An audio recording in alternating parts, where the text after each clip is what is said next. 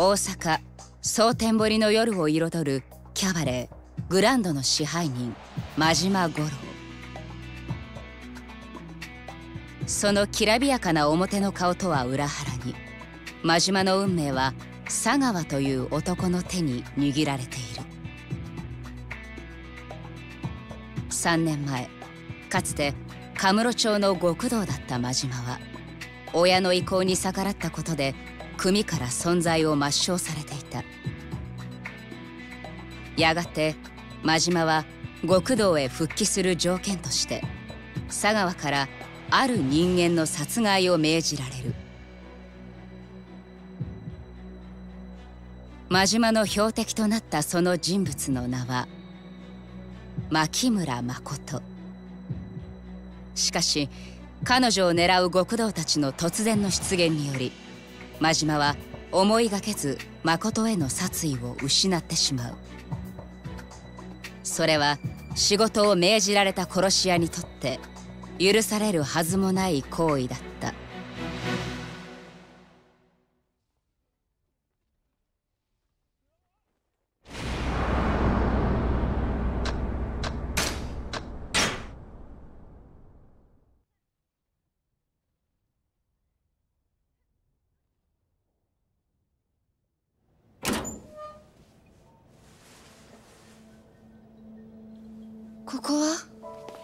から入れ。ちょっと。座れ。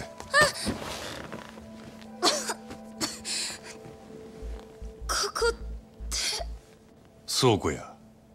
古いソファーやらそこら中積まれとる。うろうろしたら怪我すんで。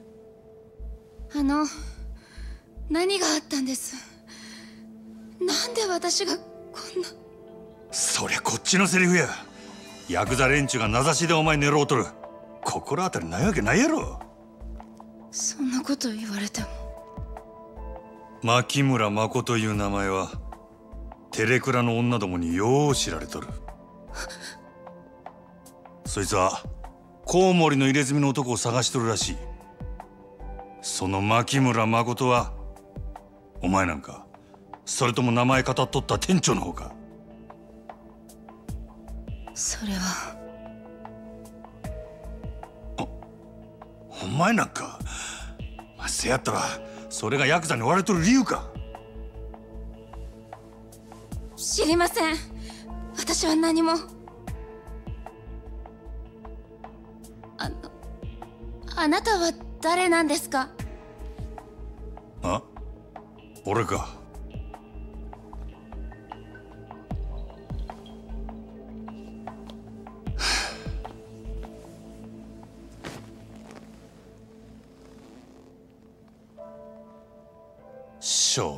男や。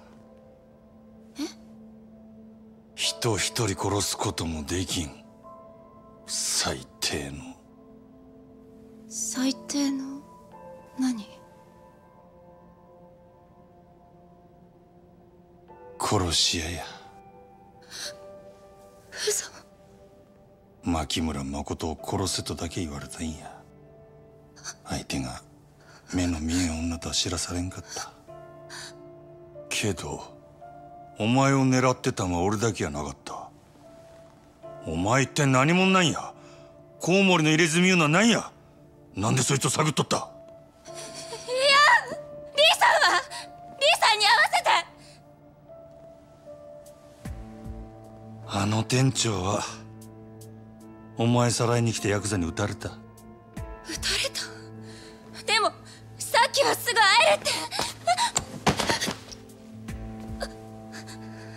心せえ。あの男何者かわからんが撃たれる時ちゃんと急所外しとった。あの出血ならしな。本当に？用が済んだらあの男に会わしたる。けどその前に知ってることを洗いざらい話してもらうで。牧村誠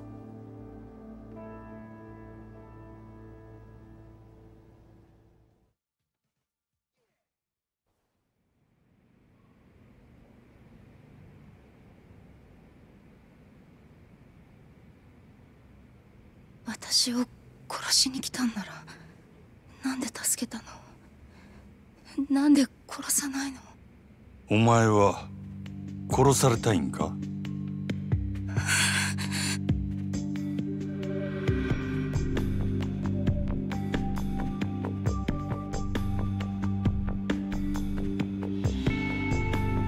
どの道？お前生かしとることがバレたらお前も俺も俺の雇い主に消される。せやけどなんでお前が狙われとるかが分かれば少しはやりようがあるかもしれん。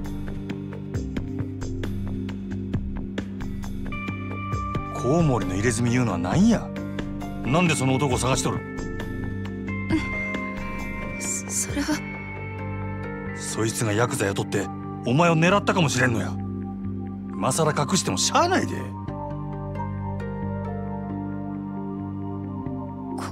入れ墨の話ならリーさんが知ってる。あ？リーさんに聞いてください。そうすればわかりますから。本当やろな。その話もっと早い言えや。いくら急車外しとっても銃で撃たれたんや。出血多量で死んでしまうかもしれんやろ。あなたさっき大丈夫って。まあ嘘も方便ちやつや。ええか死にたなかったらこっから出るんやない？絶対やぞ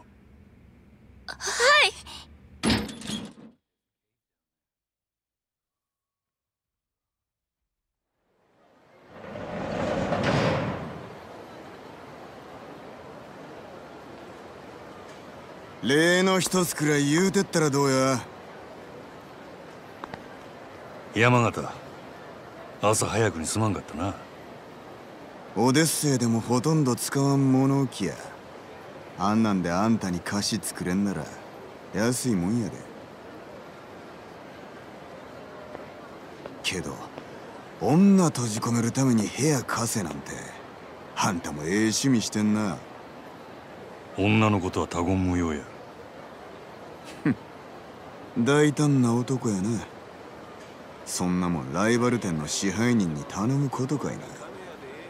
俺がこの秘密触れ回るとは思わんのか。このことがある筋に知れたら俺はこの町におれんようになる。もしそうなったらあんた困るやろ。あグランドとオデッセイっちゅう店が張り合うてこその蒼天堀や。どっちかの店だけになれば町自体の客足どんだけ減るやろな。野球と一緒や。一強だけのリーグ戦で客は呼べ。オデッセイだけで試合は盛り上がらんで。なるほど。さすがは夜の帝王っちゅうわけかい。わかった。あんたの秘密の趣味は俺の胸にしまっとくわ。せやけど貸しは貸しや。忘れんといてや。ああせや。真島藩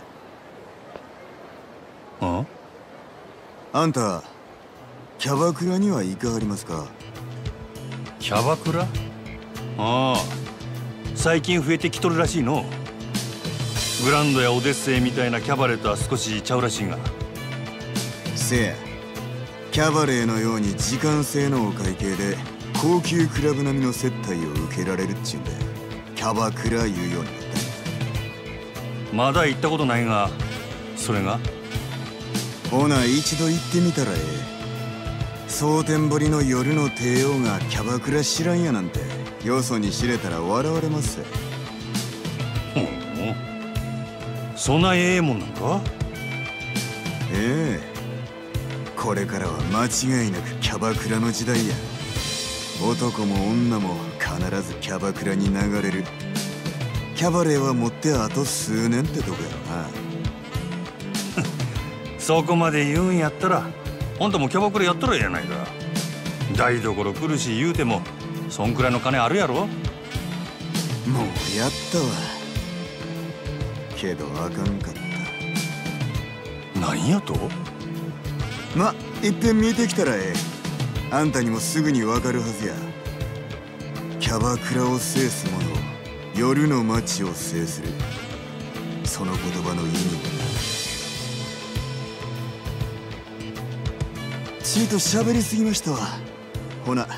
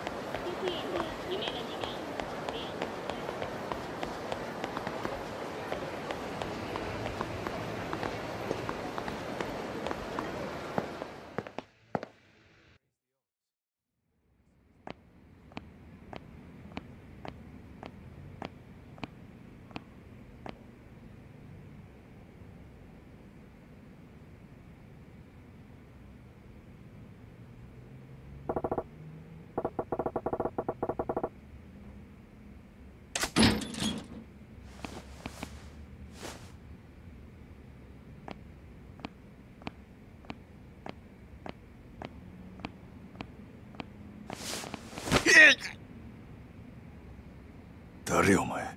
何しに来た？黙っとったら何も分からんで。私関係ない。D さんの着替え取りに来ただけ。リーの着替え？ほなお前ここの店長の居所知っとるのか？リーはどこにおる？無事なんか？D さん今私の病院いる。なんや？おっさん医者か？この辺りの中国人みんな私の病院来る。D さんも夕べ駆け込んできた。そんな病院どこや？いやでででも。俺はリーの味方や先生。あんたここにおったマコという女知っとるか？誠？し知ってるよ。リーさんあの子のこととても心配してる俺はその女に頼まれてリーに会いに来たんや。せやからあんたの病院どこにあるか教えてくれ。はよ言わんと痛い目見るで。わわかったよ。私の病院小福町西にあるジャンバラ屋って雀荘私いつもそこで患者見てる。雀荘で病院？闇医者っちゅうことか。もうもう言っていいか？いや俺が探しとることリーには内緒なんや。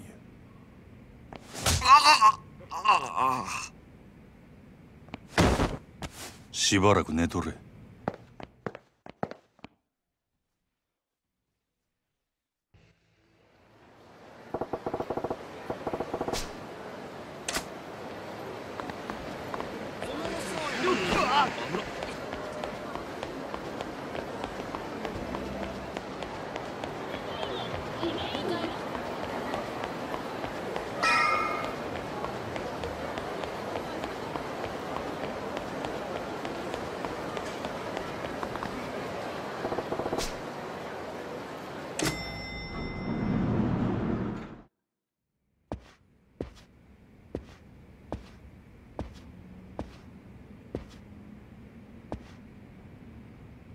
ああそろそろ来ると思っとったで。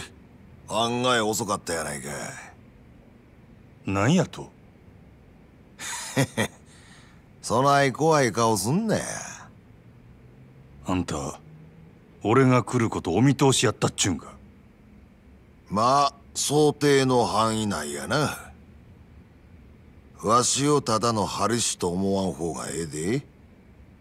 ゴッドハンドやさかいなあああかんあかん。そんなん通るわけないやろが。そのトン当たりや。うわそりゃないよリさん。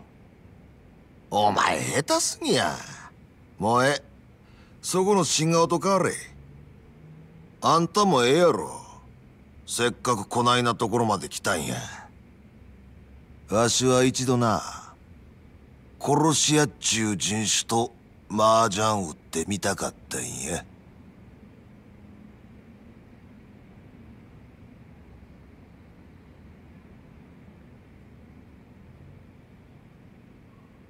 怪我人にしちゃ元気そうにしとるやないか。アホ抜かすな。死ぬほど痛いわ。腕が動かへん。あんたと変わってやりたいわ。あんたあの女がどないなったか聞かんのか？誠が死んどったらわしを探す理由なんてあらへん。生きとんのやろ？お前まだいっぺんも人殺したことないな。顔見りゃわかるんやで。一線超えんで踏ん張っとるっちゅうとこや。人を殺せん男がなんで殺し屋なんかやっとるんや？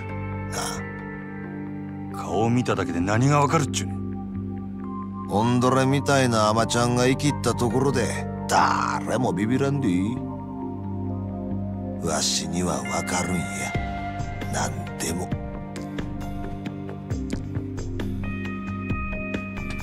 それ論や。悪いな。誠は怪我しとらんのやろな。なあ女は無事や。安心せえ。そうか。そしたらあれか。お前がここ来たんは自分が生き残る策を探ろうっちゅうことが下手打った殺し屋が雇い主に殺されんようにな。言うとくけどな。俺はまだあの女殺さんと決めたわけやない。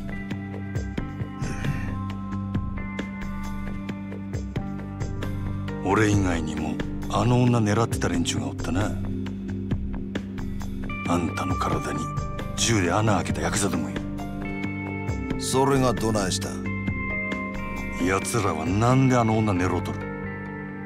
そんなもんお前の雇い主に聞けや。そいつも誠狙っとんのやろ女が狙われとんのはお前らがコウモリの入れ墨嗅ぎ回ってるせいなんとちゃうか？さあどうやろな？リーさん大丈夫だったか？応援かき集めてきたよ！そいつリーさん狙ってる！なかなか楽しかったで。まだ話は終わっとらん。俺が敵か味方もわからんやろが。それでもやるんか敵か味方かわからんのやったら殺した方がマシや。それがこの町の中国人の流儀やで。聞く耳持たんちゅうわけかい。お前ら遠慮はいらんでぶちかましたれ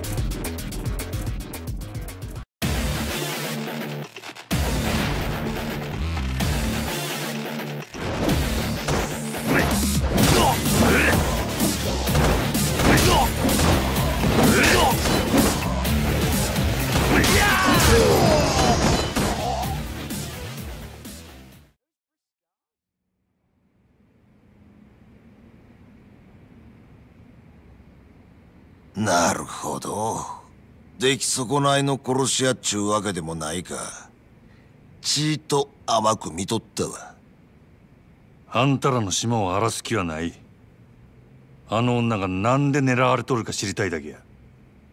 誠の狙われる理由がコウモリの入れ墨の男や言うんやったら多分関係ないで。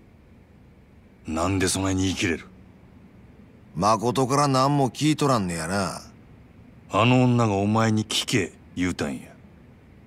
あの子は自分の口から言いたないだけや。どういうことや？あの子はなコウモリの入れ墨の男のせいで目が見えんようになったんや。何？誠は2年くらい前初めて大阪に出てきた。身寄りも行くあてもないただの18歳の女の子でな。住み込みのホステスやったりいろんな職を転々としとったらしい。せやけどそれは蒼天堀の裏社会にとっては格好の餌食やった。学校の餌食？せや。誠に近づいてきた悪い男がおってな。口八丁で誠に身寄りがないこと嗅ぎつけると急に人が変わったそうや。あの子が逃げられんようどこぞの俺に監禁した。そいつは何の目的でそないなこと金や金に決まっとるやろ。コウモリの入れ墨の男は誠を金で売り飛ばしたんや。ある韓国系の組織になそっから毎日あの子が朝から晩まで何させられとったかは皆まで言わん。ただあの子の目が見えんようになったのはそれが原因や。極限状態のストレスから来る心因性視覚障害。火も刺さんような暗がりであの子が自分の目で最後に見たんがそのろくでなしの腕にあるコウモリの入れ墨や。けったくそ悪い話や。そんな誠をわしが拾ったんがつい半年くらい前や。あんたらはその復讐のためにコウモリの入れ墨を探し回っとるっちゅうわけか。誠は自分と同じ目に遭うやつを他に作りたないんやと。なんやったらわしが確実に殺したるけどな。コウモリの入れ墨皮ごと剥ぎ取ったらけどこれで分かったやろ。言うてもコウモリの入れ墨は町で自分の顔さらして女さらう程度の小物や。そいつが今誠の狙われとる理由とは思えん。チンピラに雇われて穴井行さんヤクザは動かんやろ。せやったら他に心当たりはないんか？ないな。わしの話はこれでしまいや。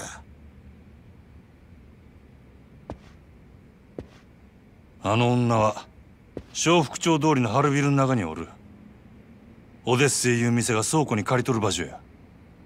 お前わしに誠返してもうてええんが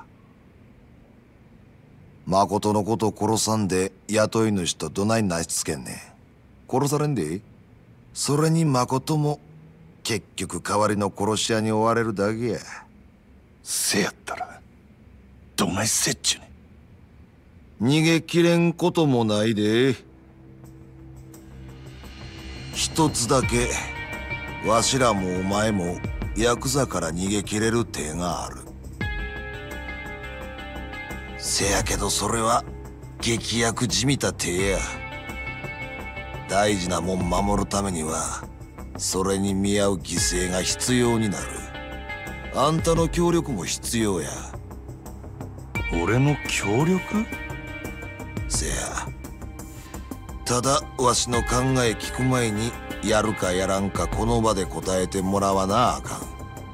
でどんなことでもやるか？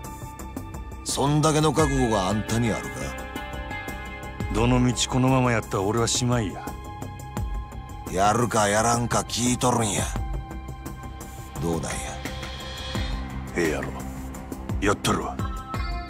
そうか。分かった。せやったらあんたは誠んとこにはよ帰り。今日んとこはあの子の面倒を見たってくれ。え？わしには急いでやらなあかんことができた。何する気なんやあんた。目処がついたら教える。それまでは秘密や。この先あんたと連絡つけるにはどないしたらええキャバレーグランドや。夜になったらそこにおる。俺はそこの支配人や。ほんまか？あんたがあのグランドの飲み代は心配すな。俺のおごりや。分かった。とにかく夜になったら連絡する。あんた名前は？真島五郎や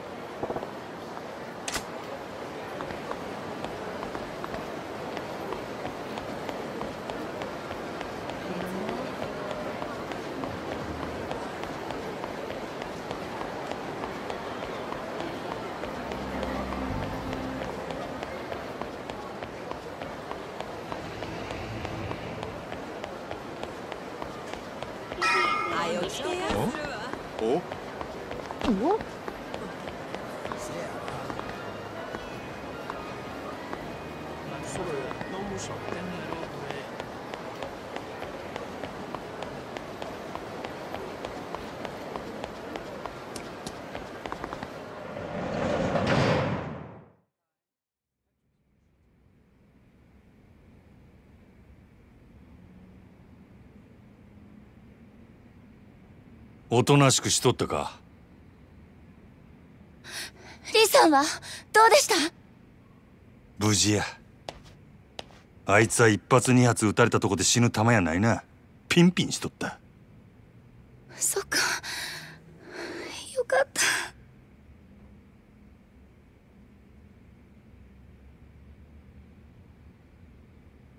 でもそれじゃあの話も全部聞いたの。ああ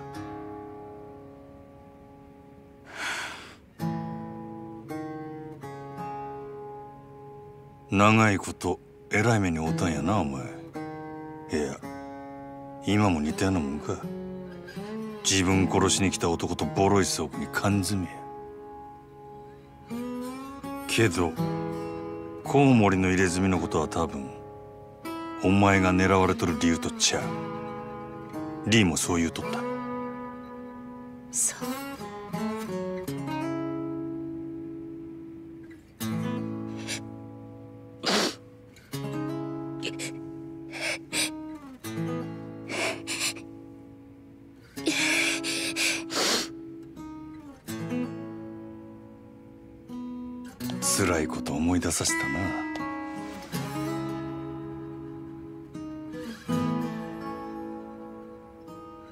少しやけど俺もお前に似たとこがあるんや。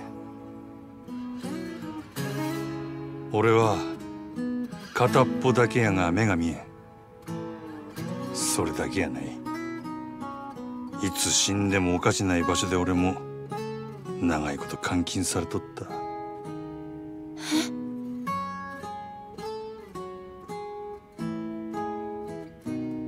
お前に比べたら天国みたいなもんやるけどね。俺には固め残っとった。お前よりだいぶマシや。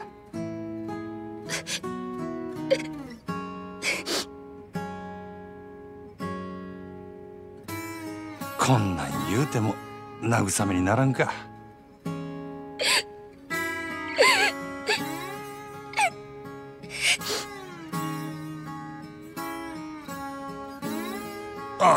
そのなんやかえって余計なこと言うたな。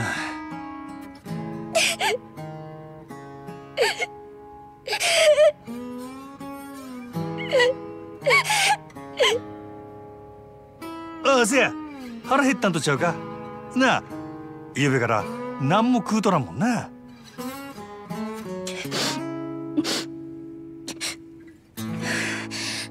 大丈夫。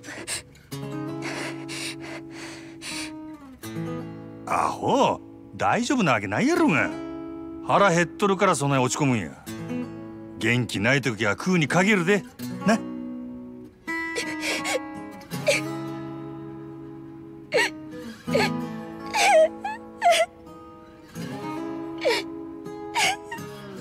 すぐ食うもん買うてきたる。なんか欲しいもんあるか？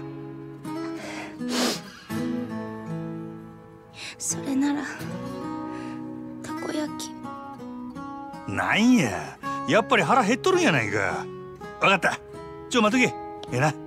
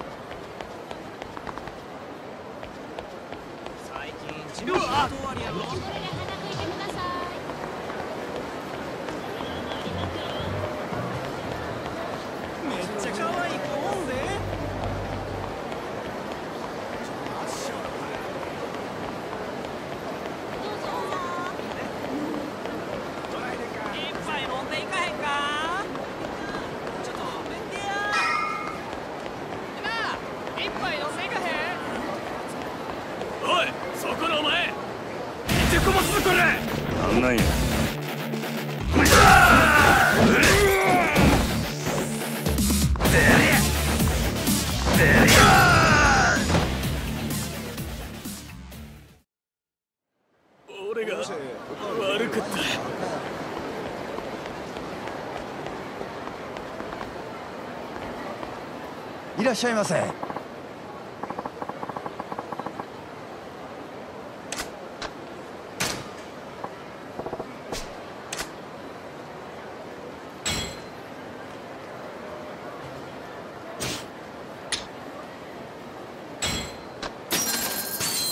ありがとうございました。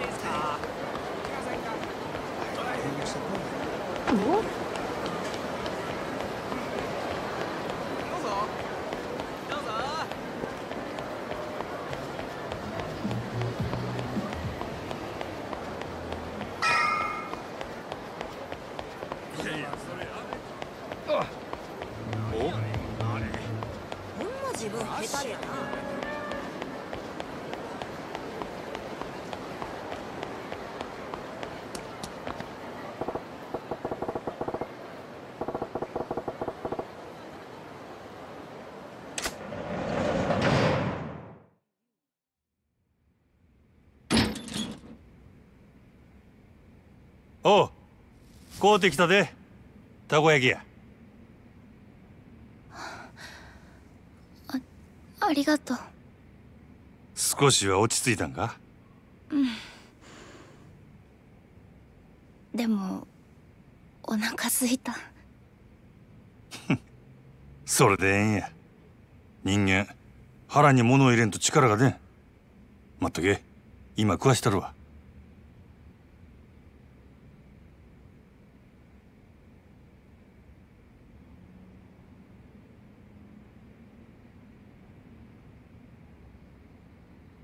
あのあ？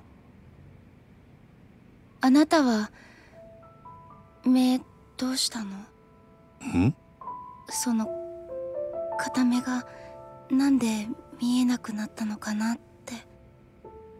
ああ。俺の場合は怪我っちゅうかな。事故みたいなもんでもう完全に潰れてもうだそんなもう一つの目は残っとる。別にそれで十分や。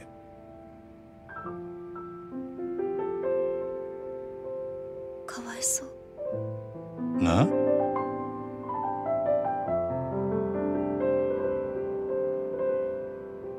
アホか。お前の方がよっぽどやろ。私の目は心因性だからいつか治るかもってリーさんが。そうなんか？なら望みはまだあるっちゅうことやな。よかったやないか。でもあなたの目は？もう慣れとる。そない不自由しとらんわ。せいぜい男前が台無しになっただけや。男前なんだ。目が揃っとったらなお見せできんのが残念やでほんま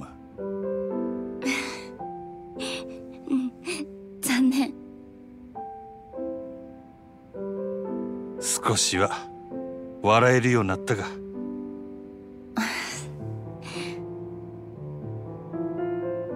うん？なんやお前？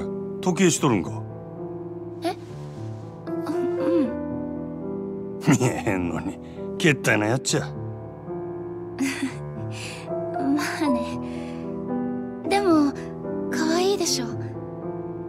せやから見えへんのやろうちゅうとるやろてるよ。でもねこれオルゴールの曲が鳴るの。それがまた可愛くって癒されるんだ。うん？どないの音や？今は鳴らない。だって時計が壊れてるから。なんやねでも捨てられないものってあると思わない？から見れば全く意味がないけど自分にとってはなんだかすごく大切っていうか目が見えなくなって時間もわからなくなって時計も壊れて音も出なくなって。だから分かってるよ。そんなもの必要ないって。でも私がまだ元気だった頃の証なの。それを捨てちゃったら私は本当に。お前。でもまたあのオルゴールの音聞いてみたい。わかるで。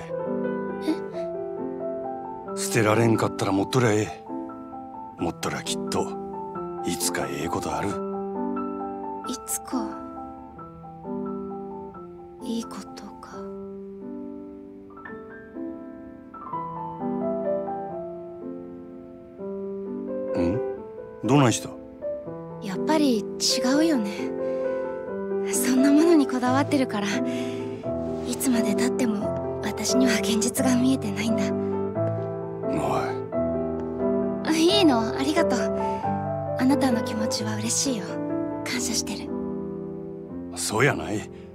前が必要やと思うんやったら必要なんや。本当にそう思うんやって。大丈夫。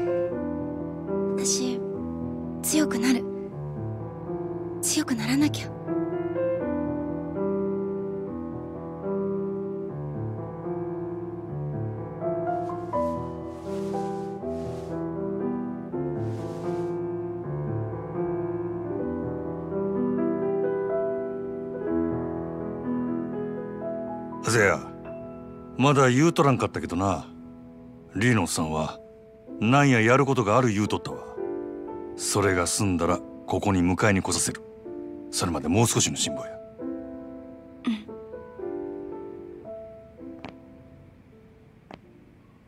どこか行くの？そろそろ仕事の時間なんや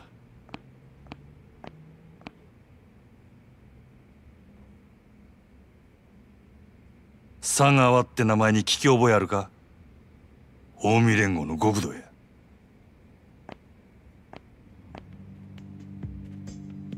知らない。そうか。佐川も誰かに頼まれただけかもしれんな。けどなんでお前みたいなんが極道に狙われるんや？あなたはその佐川って人に脅されてるの？似たようなもんやな。けど俺はお前を殺すことで褒美をもらえることになっとった。登場界に戻れるっちゅうな。登場会？あいやお前は知らんで英語でじゃあもしこのまま私を殺さずにいたらあなたはそのヤクザに殺されるの？大丈夫やリーのおっさんがなんや考えがある言うとった。うまくいったらお前も俺ももう殺されんで済むっちゅう話や。本当に？お前んとこの店長やろ。信じたれや。ほな仕事が終わったらまた来るで。ええな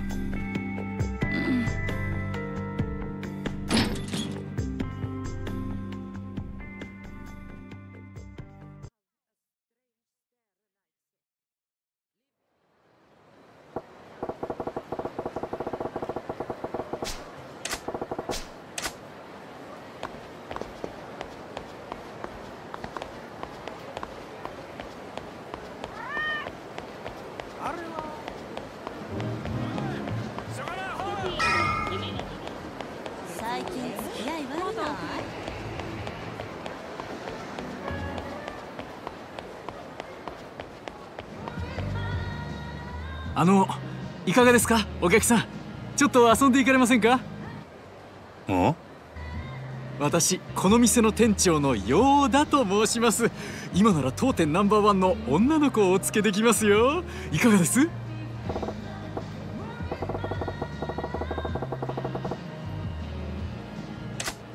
この店はキャバレーか？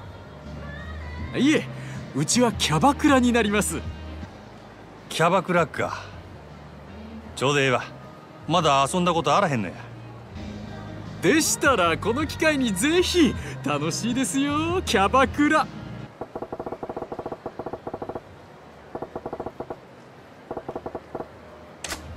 わかった。案内頼むわその代わりちゃんとナンバーワンの子つけてくれや。もちろんです。さあどうぞこちらに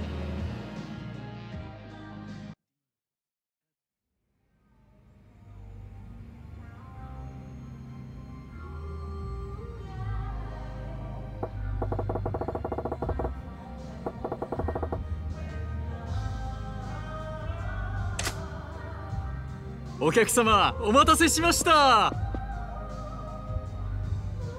ん当店ナンバーワン女ゆきちゃんです。どうもゆきです。よよろしくお願いします。おうよろしくな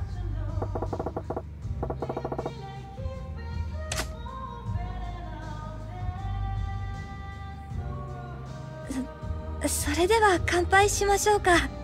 おおう。乾杯。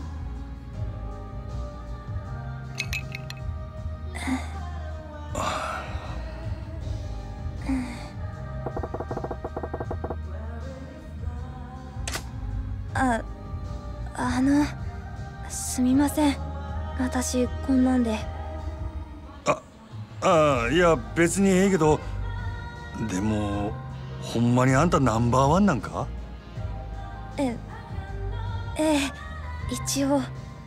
ただこの店に在籍してる女の子私を含めて3人しかいないんですけどね。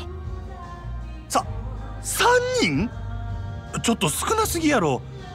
道理で寂れてるわけやな。はい。ちょっと前まではそれなりに繁盛してたみたいなんですけどファイブスターが現れてからはずっとこんな感じで。ファイブスター？なんやそれ？蒼天堀ファイブスター。蒼天堀のキャバクラを牛耳っている人気キャバクラ店。5店舗のオーナーたちの総称です。彼らが蒼天堀に出店してからこの辺りにたくさんあったキャバクラはどんどん閉店に追いやられてしまって。閉店ってどうしてや？そんなに人気なんか？そのファイブスターっちゅうやつらの店は。もちろん5店舗はどれもすごい人気です。ただ閉店に追いやられた理由はそれだけじゃなくて。それだけじゃない？なんや？簡単に言うと嫌がらせですかね。嫌がらせ？もう嫌がらせするのもいい加減にしてくださいよ。ん毎日毎日朝から晩までいたずら電話したり営業中に騒いで邪魔をしたりもううんざりですよ。健全な勝負で負けるなら納得しますけどこんなやり方卑怯ですよ。失礼な人ですね。その嫌がらせをやっているのが我々だという証拠はどこにあるんです？ないでしょなんやあいつ。あれがさっき言った蒼天堀ファイブスターですよ。ほう。あれが。あいつは蒼天堀ファイブスターの一人。クラブマーズ店長の日野という男です。クラブマーズはこの辺りのお客さんをほぼ独占しているお店で近所にあるうちの店に圧力をかけ続けているんですほう。証拠なんかないけれどあんなひどいことをやるのはあんたたちに決まってるだろう。うちの店が立ち退けばこの蒼天堀のキャバクラが全てファイブスターのものになる。あんたの狙いはそれなんだろう。なんだ。そこまで分かってるんですか。なら話が早い。さっさと立ち退いてくださいよ。もちろん今ならそれ相応の立ち退き費用と謝礼はお支払いしますよ。ただこれ以上立てつくようなら話は別ですがね。こんな薄汚れた店に金を出してやると言ってるんだ。悪い話じゃないでしょう。断る。あんたらのせいで。どれだけの同業者たちが苦しんだと思ってるんだ。あんたらみたいな卑怯で汚い連中に蒼天堀は独占させない。うん。さすがはかつて人気店だったサンシャインの店長。他の店のように簡単には落ちないみたいだね。まあ今日は引き上げましょう。ただ次会う時には結論を聞かせてもらいますよ。な何度来ても同じだ。私の結論は変わらない。はあ頑固ですね。まあそう言わずにまたご挨拶させてくださいよ。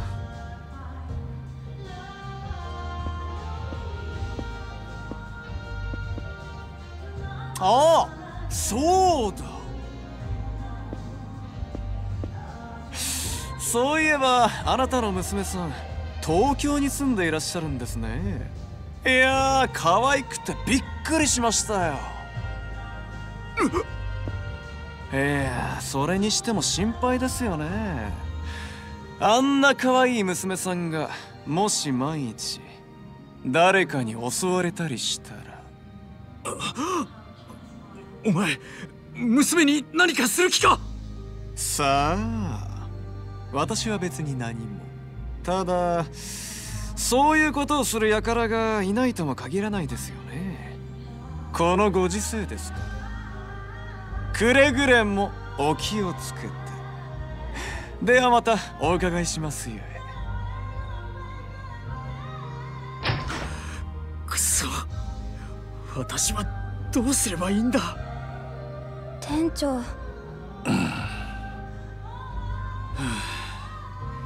どうすればいいんだろういろいろ大変みたいやな店長。あお客さんすみません。お恥ずかしいところお見せして。気にするな。それにしてもなんなんやあいつ。蒼天堀ファイブスターだったか？なんであんたの店をそこまで狙ってるんや？蒼天堀ファイブスターはお互い手を組んで蒼天堀のキャバクラを全て自分たちの店だけで独占しようとしているんです。もともと蒼天堀にはキャバクラという勢いのある新しいビジネスの波に乗るべくたくさんの店が出店していて栄えていました。しかし彼らファイブスターは手段を選ばず金を使った引き抜きや嫌がらせ暴力による圧力などで次々と他の店を飲み込んでいきました。その結果蒼天堀に残っているキャバクラは彼らの5店舗とうちだけになってしまったんです。なるほどな。そうなりゃ確かにあんたの店を乗っ取って完全独占したくもなるわな。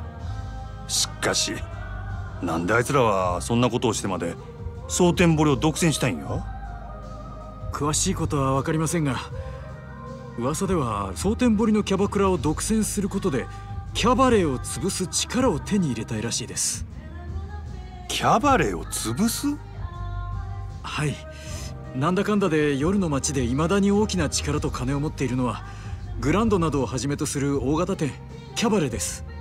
彼らはそのキャバレーを打ち破り支配することでそこに渦巻く金や利権人脈などをごっそり手に入れたい。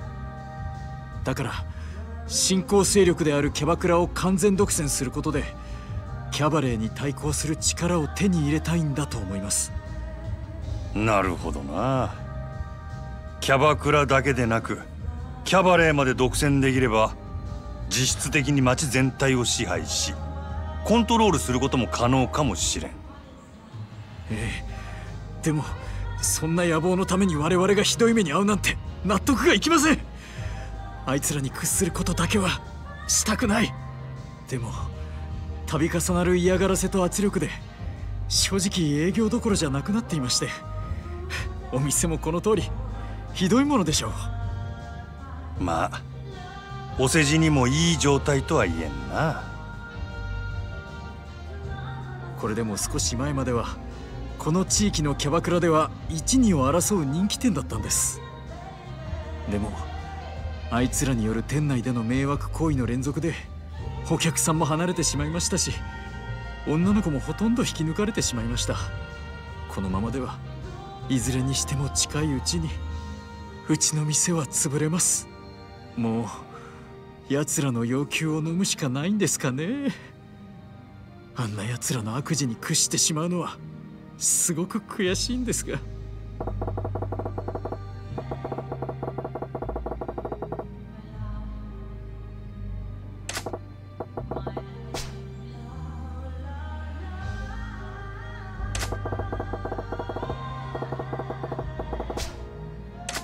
しゃあないな。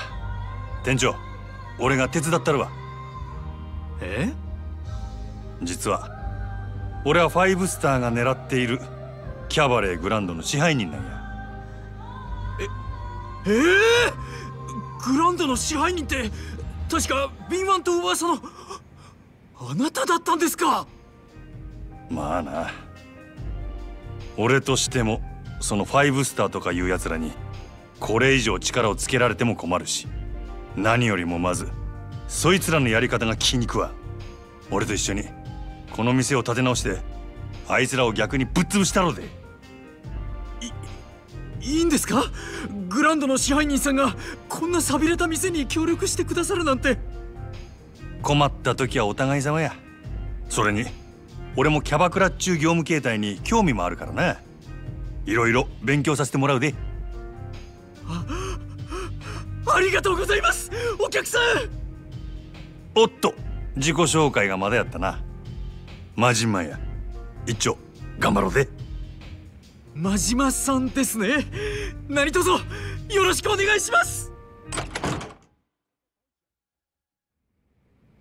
あえ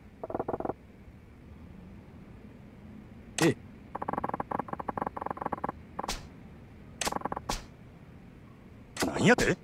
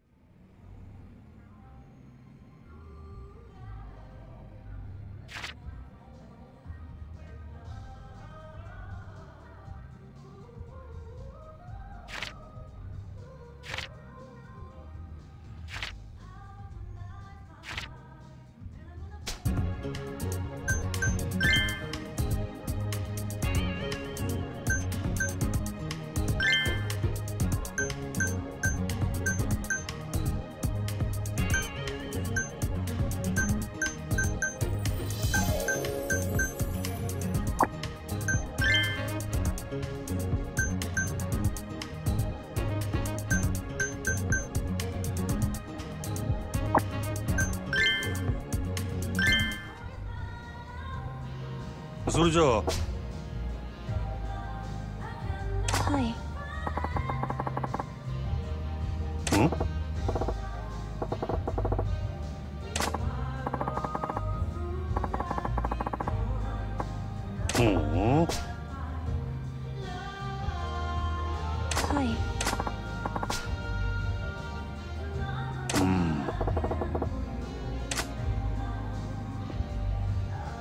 それじゃあ。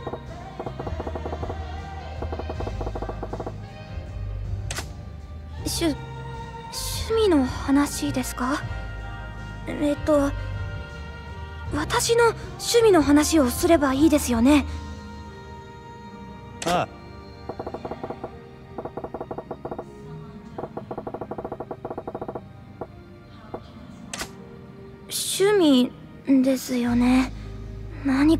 かな？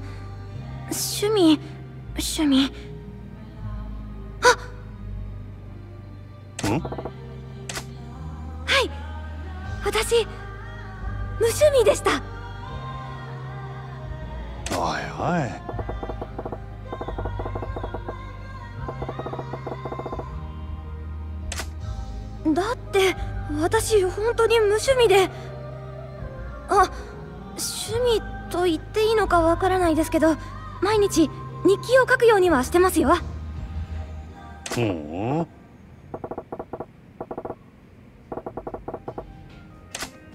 今日どんなことがあったとか何を食べたとか盆栽の成長記録とかですかね。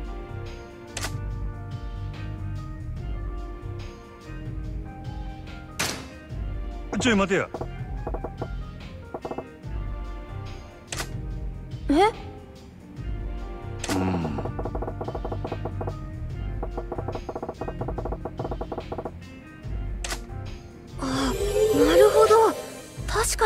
そうですね。真島さんって意外とよく気がつく人ですね。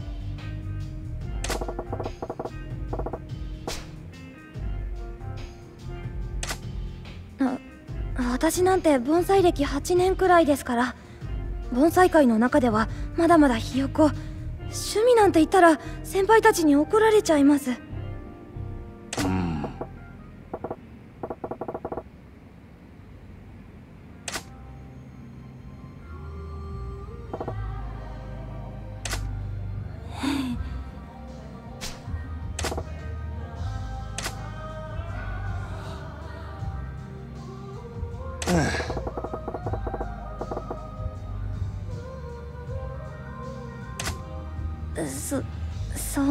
ですよね。なんか私なんかが急に話しかけたら逆に失礼な気がして。いや。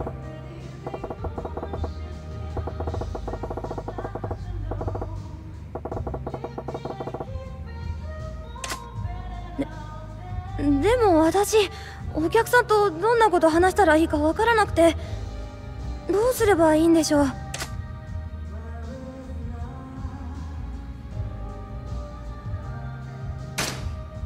それじゃあ。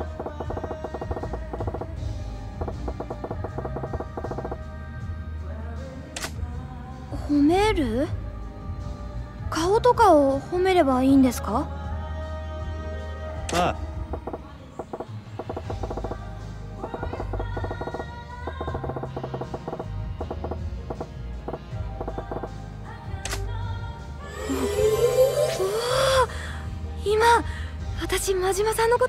まれて初めて尊敬できましたよ。伊達に変な眼帯してませんね。ちょい待てやあれ？精一杯褒めてみたつもりだったんですけど。すすいません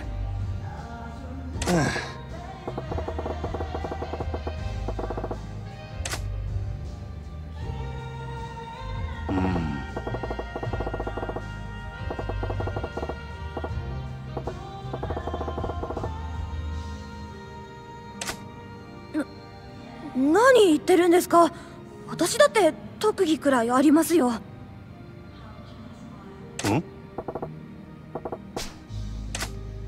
えー、っとですね。よくお年寄りに好かれたりしますよ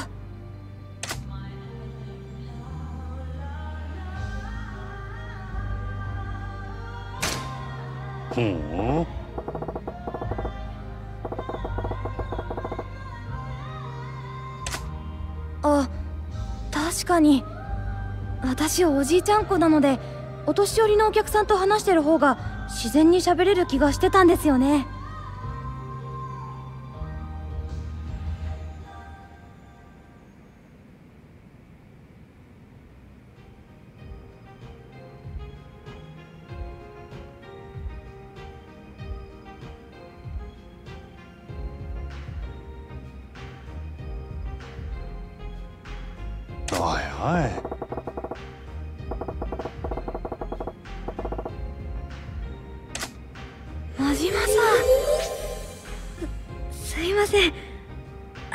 ございます。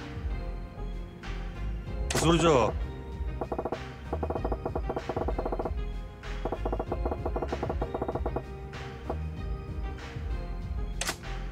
ええ若いお客さんも多少は回してほしい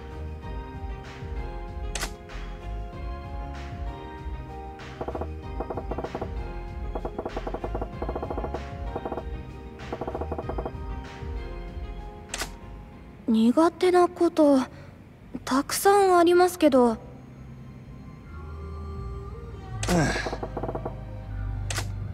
もう失礼ですね。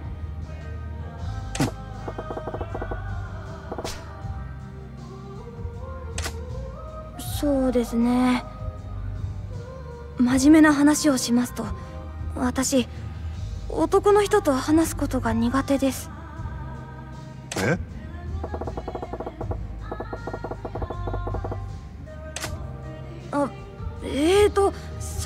ね。そそうだ苦手だからこそですよ。ここで働いたら男の人への免疫が高まるんじゃないかなって。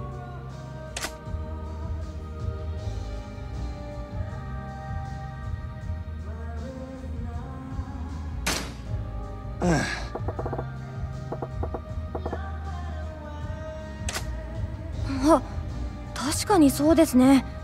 真島さんとは私普通に話せますね。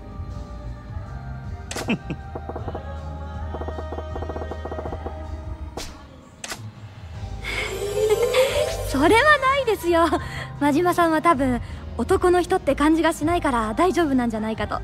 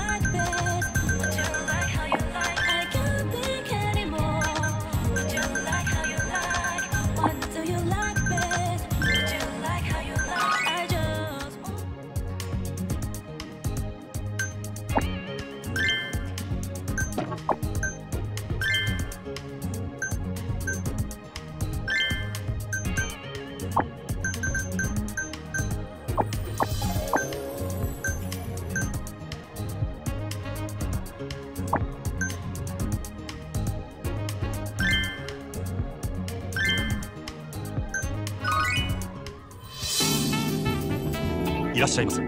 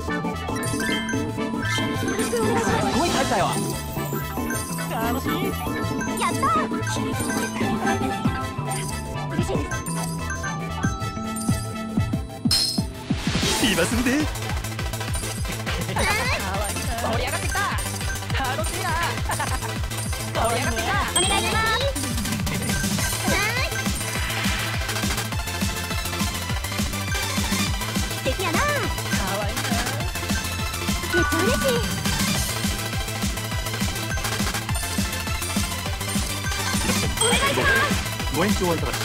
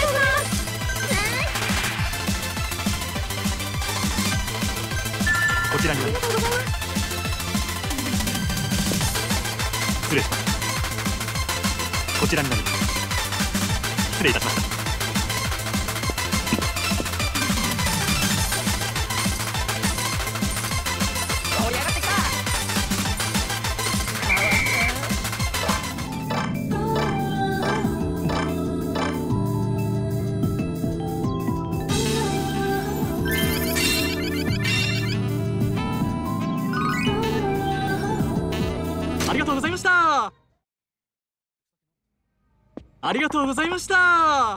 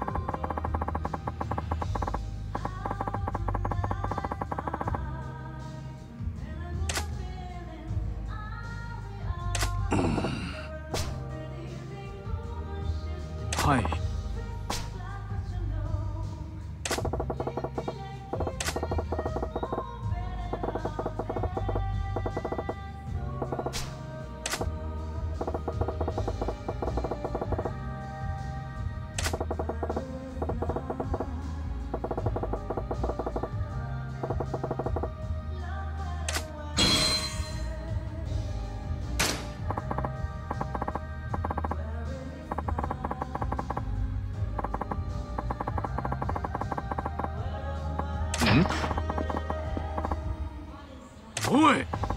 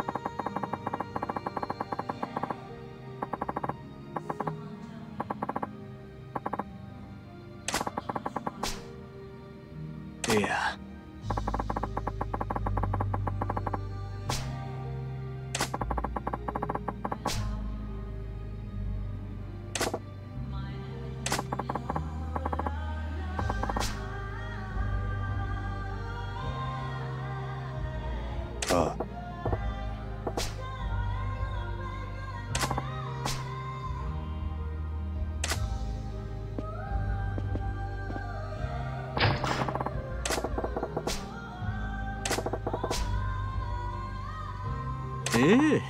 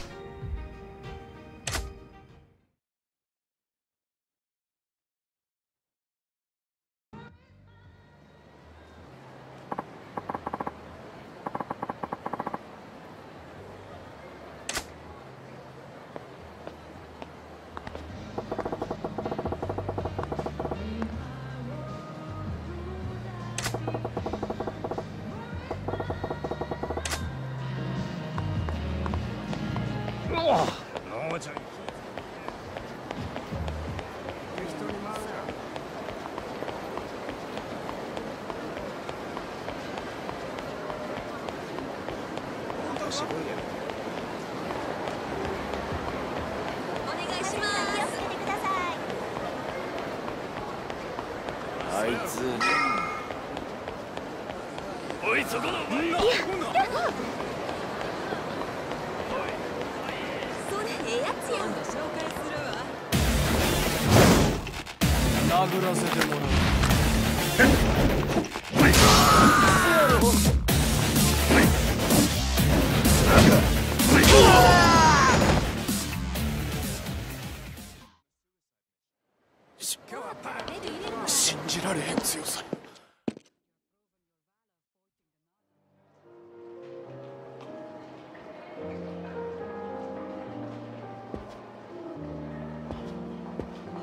支配人すみませんよろしいですか？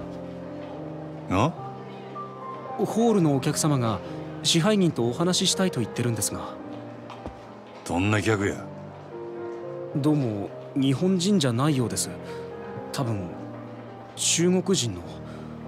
背が低くて少しくたびれた感じの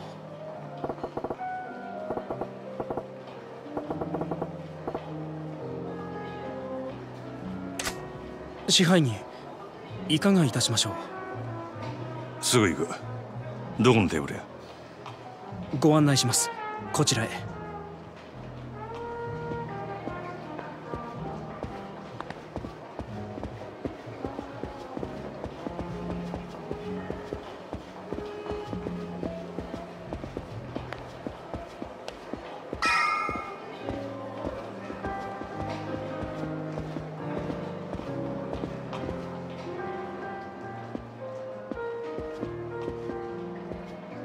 支配人こちらのお客様です。お呼びでしょうか？ああ私ね支配人さん。ジャンバラヤの闇医者。なんてやったんか？グランといいお店。全部支配人さんのおごりね。おいここはもうええ。俺がこのお客様の相手するそれとこちらの患者は俺持ちや。頼むで。かしこまりました。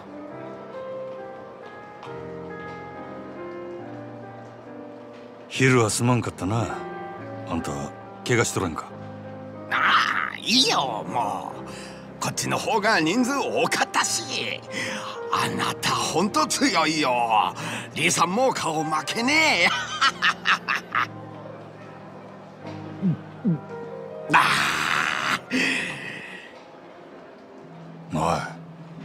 払う前に要件言えや。その理はどねした？ああそうそう私リさんのお使いで来たよ。リさんあまりこういう店で顔さらしたくない。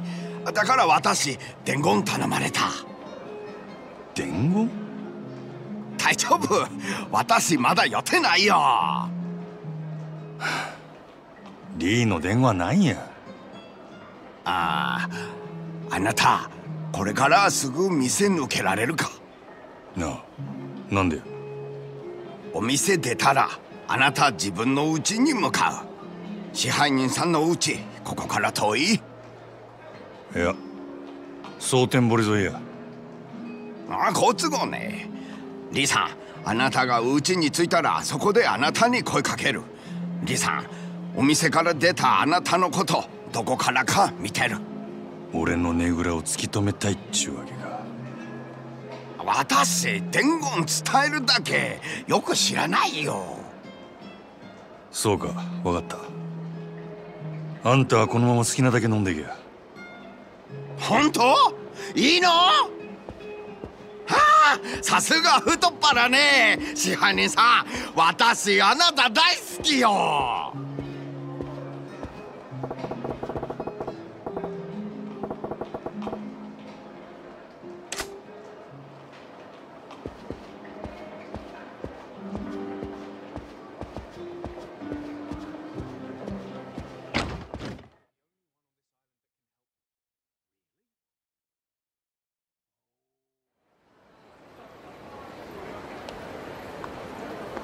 真島。やっぱりや。どっかで見た顔や思とって。グランドの支配人真島五郎。ゆうべは世話になったな。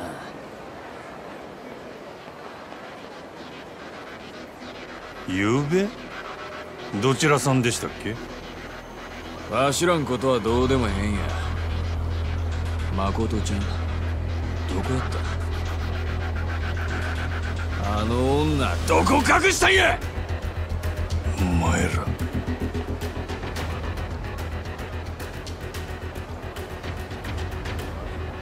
女さらいに来た連中だ。何や？そっちから顔出してくれたんか。どれ？余裕かましやって。何笑っとんねん。なんであの子が狙われとんのか。これでやっとわかる思うでななめとんのか。ゆうべは油断したけどな。今日はそうもいかんで。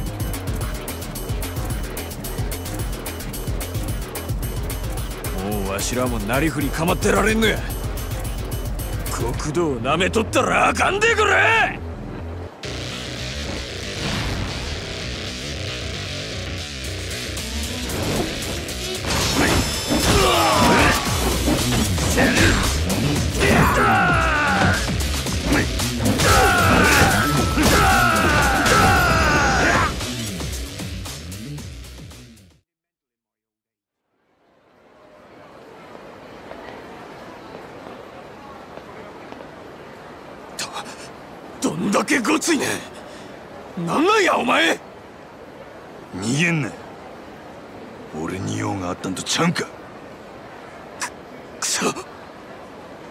ちも聞きたいことがあるんやきっちり答えてもらおうか。店の前で何やってんだ？支配人。佐川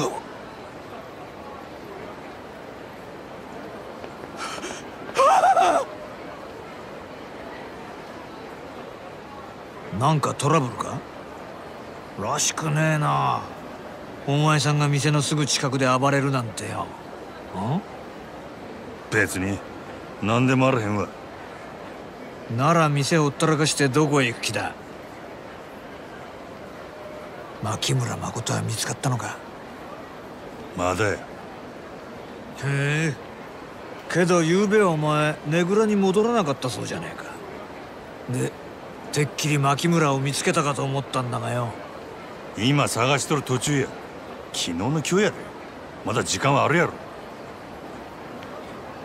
まあな。見つかっちまえばあとは殺すだけだもんな。でも早いに越したことはねならもうええでっか。無駄話しとる暇ないんで。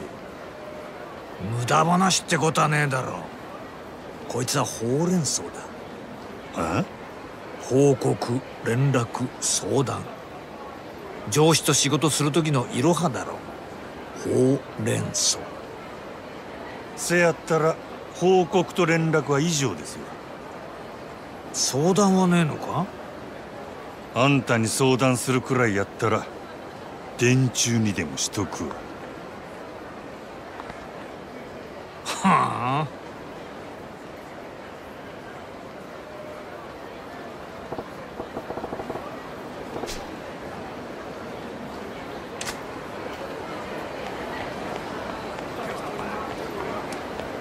おっとおら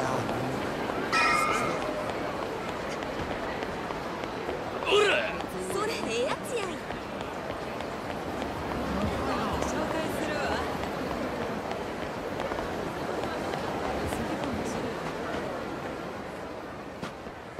リーかああれから怪我の具合はどうや？ふん。お前痛み忘れるコツ知っとるか？んがむしゃらにやらなあかん仕事やることや。ヤクザから逃げ切らなわしらどこまでも追われるんやで。痛み感じとる暇ないわ。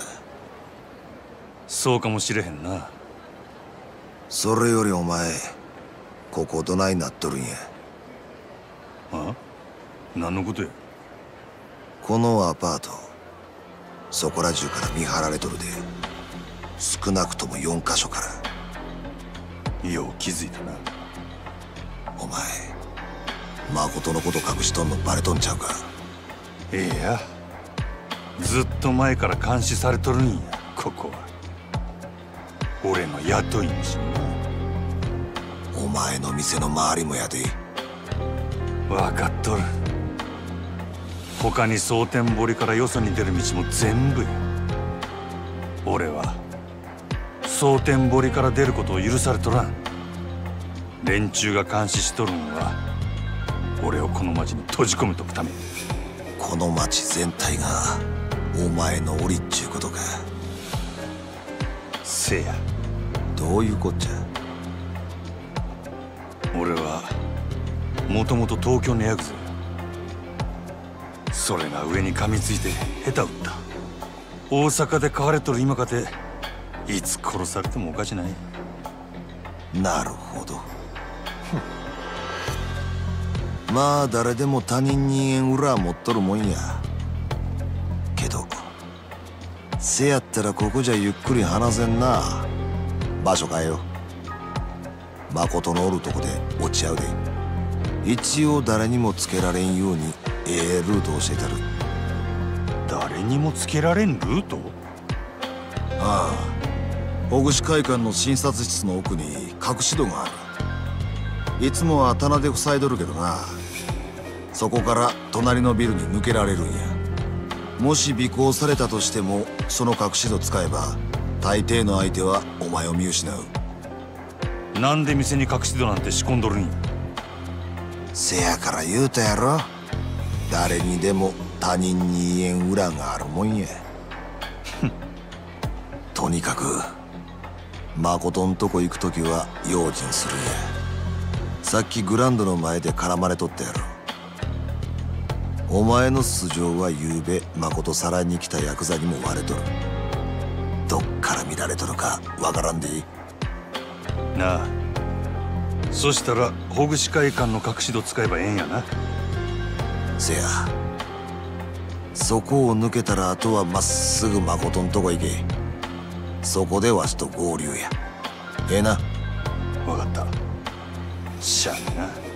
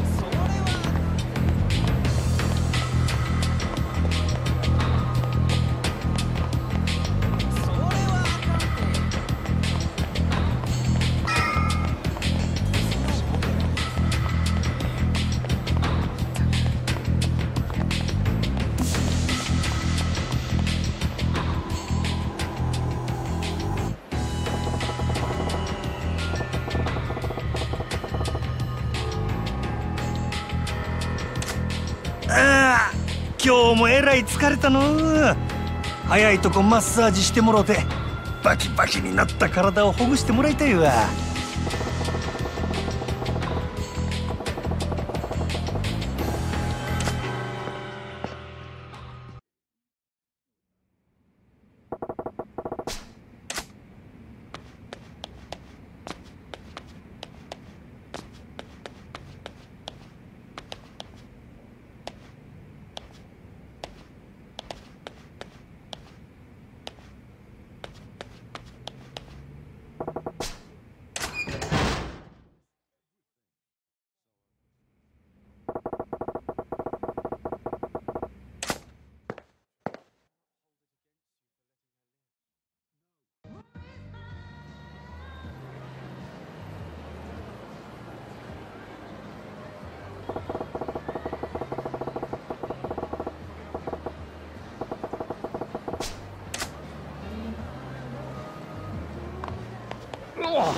もうちょい気ぃつけて。あいつは。言わすなよおいしょうがな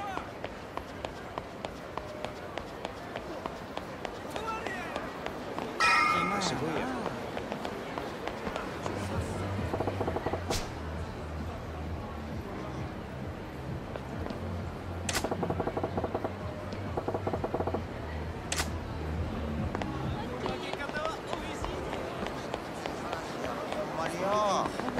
適当に回るから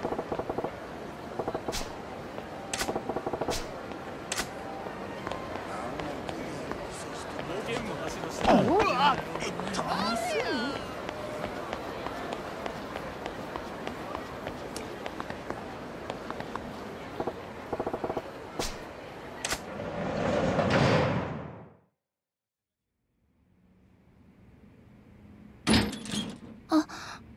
俺や入るで。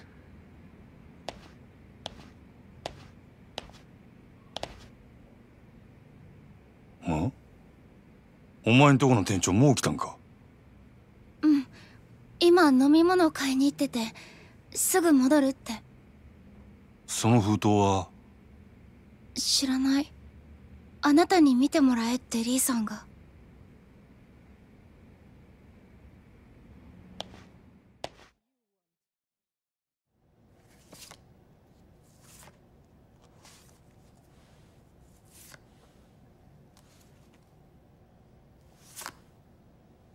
どういうこっちゃ封筒何が入ってたの？若い女の写真や。同じ女が何枚も隠し撮りされとる。リーさんがそんなものを？なんで？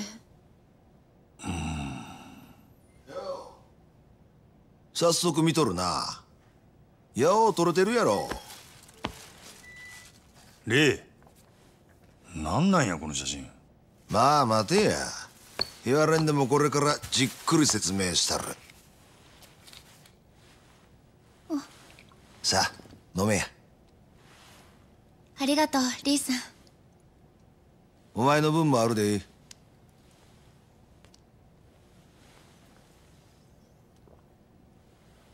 レイなんや考えがある言うてたんはこの写真のことか？大体この女誰や？結婚詐欺の常習犯や。それだけやない。こいつに貢いとった男が何人か不審死しとる。多分絞るだけ絞って縁切り代わりにやったんやろ。けどこの下道女のええとこは年頃と背格好やな。誠によう似とる。それがどないした？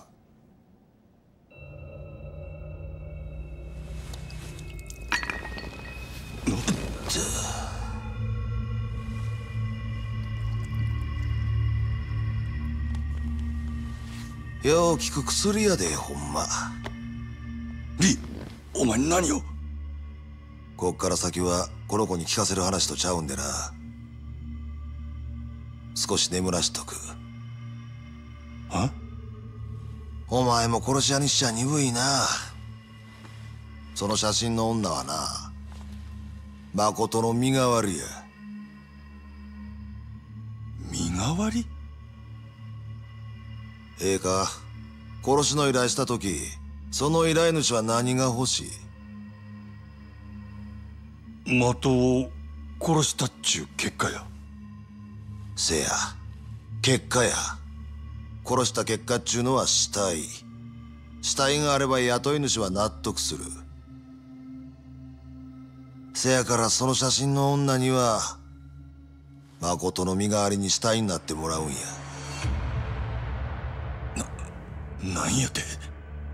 わしとお前でやる。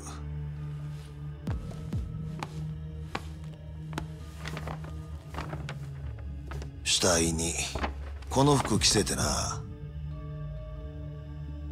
死体見つけた札は身元確認すんのにわしんとこ来るやろ。そしたらわしはこう答える。間違いありません。その死体はうちの従業員です。言うてな。青か。そんなん札が調べたらすぐバレるやろが。大丈夫や。女殺した後はその顔を誰かわからんようにしてしまえばええ。指紋も薬で焼いてるんや。お前は何なんや一体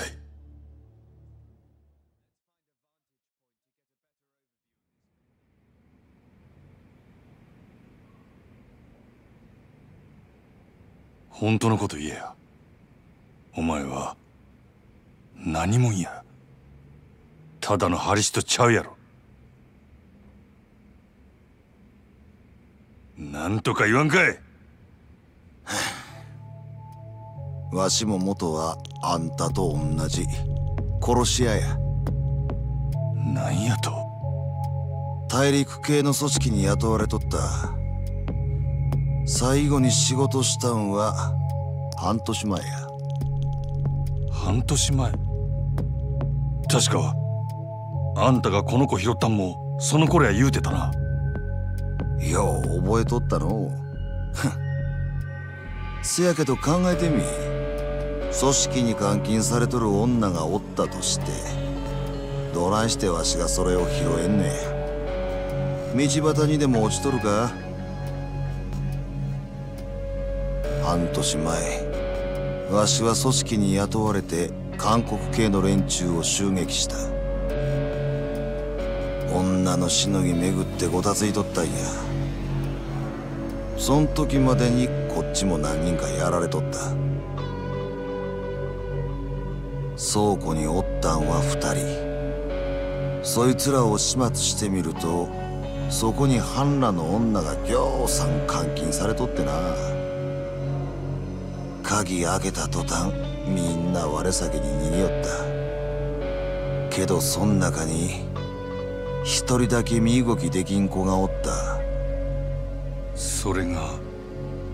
ああ誠や。この子は未延命でわしの手探してな。ぎゅーっと握って離さんかった泣きながら「ありがとう」繰り返してわしはその小さいでどうにも話すことができんかった。あんたはそれ以来の親代わりっちゅうわけか。ああせやけどわしも昔はほんまの娘持つ親やった。小さい時から病気がちでな薬の副作用で最後はよう目が見えんようになった。その仕草があん時の誠と重なり合うてもたんや。真島わしはもう自分より先に娘行かせるわけにいかんねや。娘守るためやったら赤の他人なんぞいくらでもぶっ殺したる。それがええことやないことも分かってる。せやけどもう他に手はないんや。お前にも手貸してもらうで真島。お前の雇い主に誠殺した報告してもらわなあかん。だはあ？極道舐めすぎや。そんな小細工すぐバレるせやったら他にどんな手があるっちゅうねん。言うてみ。話やしまいや。俺はお前の計画には乗らん。そうやってまた逃げんのかわしにはわかるで。お前が片目なくしてもたんも備えして逃げてきたからやろ。なんやとなんやかや理由つけて己の手汚さんとずっと自分を正当化してきたんとちゃうか。けどお前も所詮元は極道やったんや。一度黒に染まったもんはどこまで行っても黒。せやったら腹決めて地獄をつらんかいお前が俺の何を知っとるんやボケ。最後にもう一遍聞いとく。わしの話に乗る気はほんまにないんやな。ないな。そうか。そしたら黒に染まった門の流儀教えたるわ。どの道わしの計画知ったからには生きてここから出すわけにはいかん死ねや真島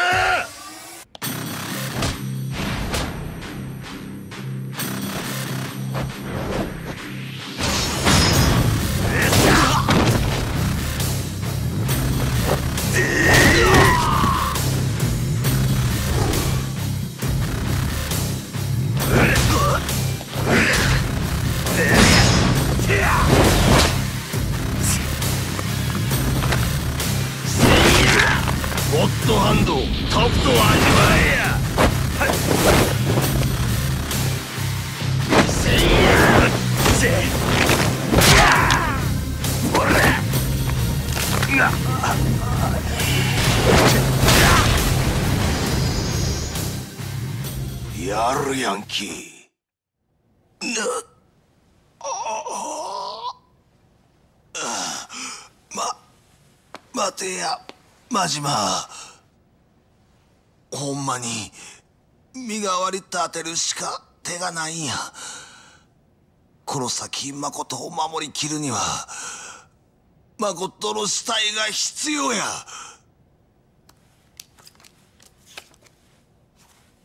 このままやったらいつか誠んとこにお前以外の殺し屋が来る。それより前にお前もやられるで。なんでそれがわからんねや。それやったらそれで俺が向かってくるもん一人残らずぶっ殺したらば。ななんやと。そんなんできるわけ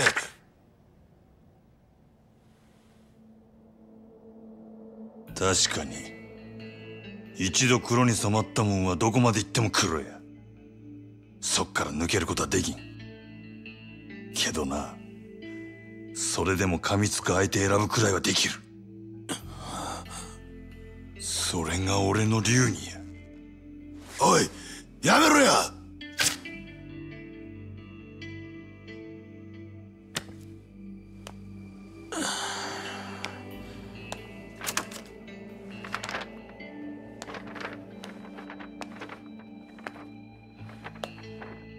風邪ひかんように見といたれや。あんたはその子の親代わりなんやろ？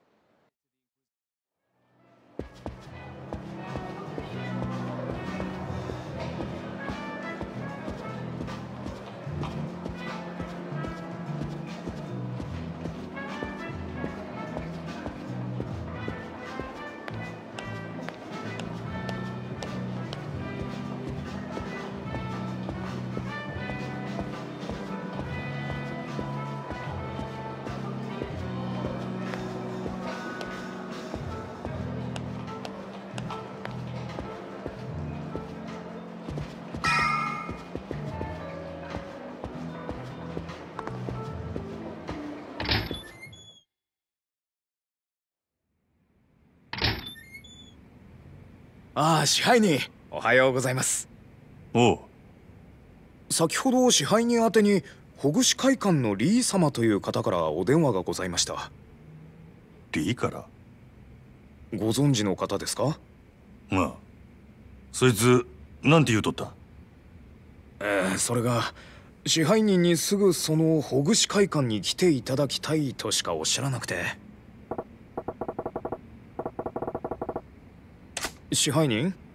分かった。よう伝えてくれたな。いえ。それでは失礼いたします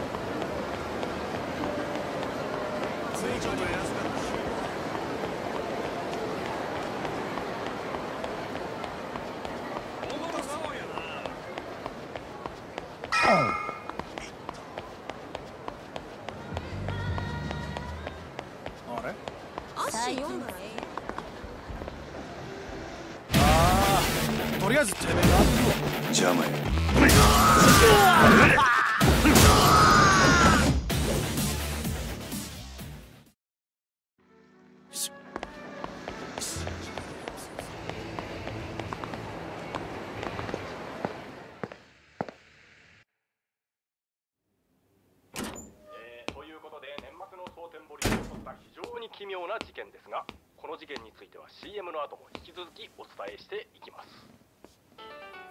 おおマジマよう来た。待っとったで。おちょ待て何興奮しとんねん。そら興奮するに決まっとるやろ。なお前水草やないか。たった一人で。せやけどこれで一件落着や。ようやったでマジマ何の話や？何ってお前やったやろ。あの写真の女。今日未明蒼天堀川で発見された若い女性の遺体は身につけていた衣類などから牧村誠さん20歳とみられます。遺体は損傷が激しく大阪府警では牧村さんが何らかのトラブルに巻き込まれた殺人事件であると断定。捜査本部を設置しなんやこれは。おいお前がやったんちゃうんか？あの写真の女を。俺はやっとらん。やるわけないやろ。せやけどお前死体は昨日お前が持ってった誠の服着とったで。なんやと。朝店にデカが来てな。身元確認や言うて死体の写真見せられたんや。顔は潰されとったが服は間違いなくお前に渡したやつや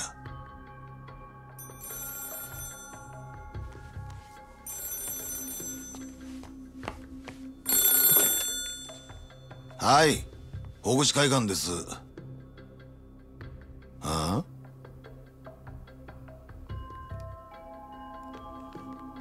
お前にや。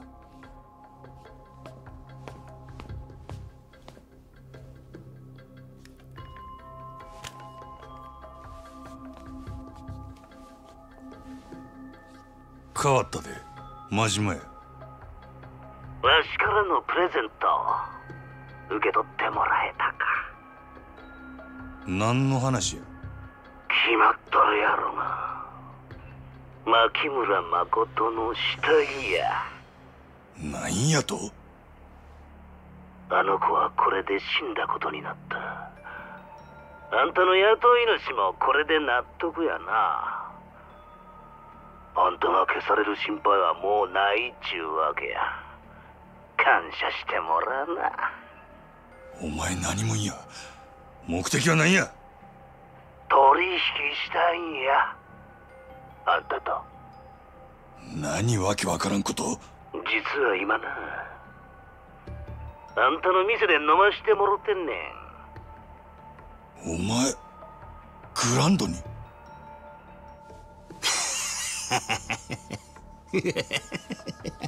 いやもうちょっとええ店やな真島君。わしここ気に入ったで。今から一緒に楽しもうやないか。あんたも早おいで。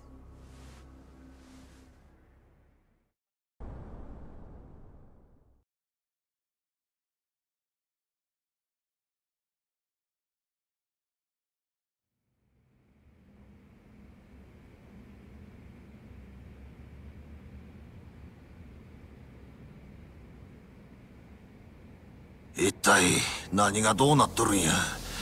なんで知らん奴がわしの計画知っとった？おいどういうことや真島？さっきの電話の男多分あいつは俺が捨てたもんを拾ったんや。公園のゴミ箱から。あ？俺があんたから取ったほぐし会館の制服身代わりにするつもりやった女の写真俺がそれ捨てたとこその男はどっからか見てたっちゅうことや。そういうことかいな。それつこて誠の死体を偽装したんやな。けど何者なんや。もしかしてお前の雇い主とちゃうか？ちゃう。俺の雇い主やったら本人が電話してくる。電話の男は別口や。けど俺が誠の殺し命じられとんのは承知しとる口ぶりやった。となると前にここに来たヤクザどもか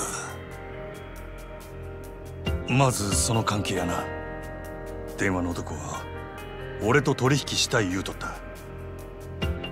奴の欲しがっとるのは牧村誠っちゅうことや。どないする？相手はグランドで俺を待っとる。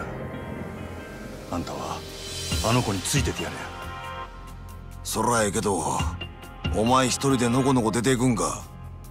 相手はお前を待ち構えとるんやで。これ以上うろちょろされたら目障りやからな。それに奴に聞けばあの子が方々から狙われとるわけもわかるはずや。そろそろ蹴りつけたる。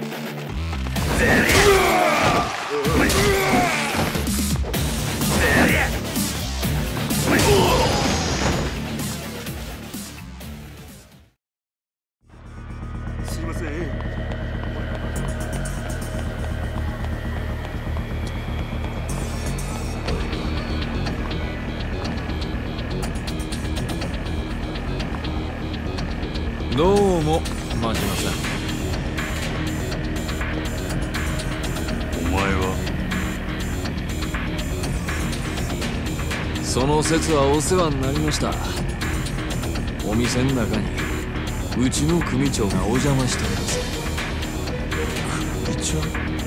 ええ。先ほど組長からお電話差し上げたかと牧村誠の死体お受け取りになられましたね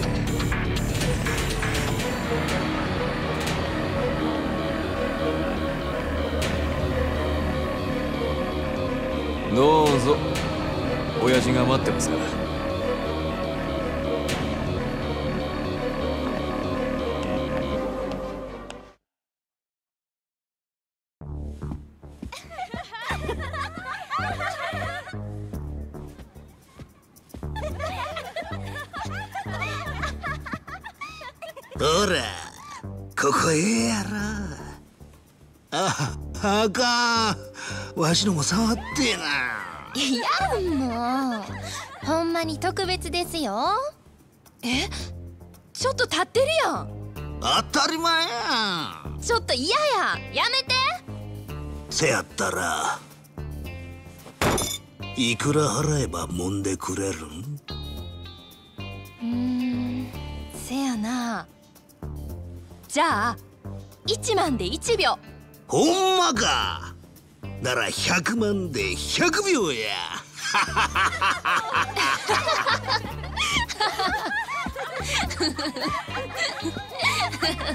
当店はみだらな行為は禁止です。お客様。ほう。あんたが真島君かいな。固いこと言うなや場がしらけてしもたやんか。ですがそれが当店のルールです。はいはい。そりゃエロすいませんでした。支配人怖いな。な。当たり前や。他の客の迷惑になるような真似されて支配人として見過ごせるわけないやろ。ちゃうねんってそない乱暴なことせん。これでもちゃんと筋通してますし。実はお店の人に頼んで貸し切りにしてもろたんや。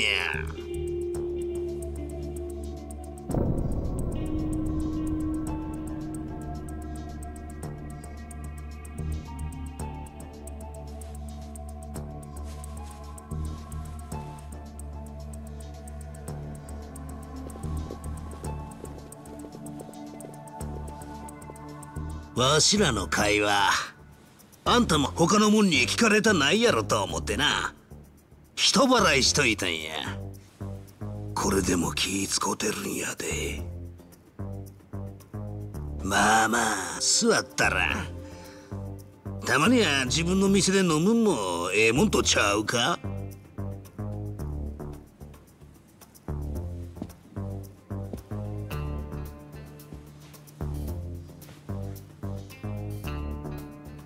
何もんや。わしゃな鬼人会中看板掲げさせてもらってる西谷ってもんや。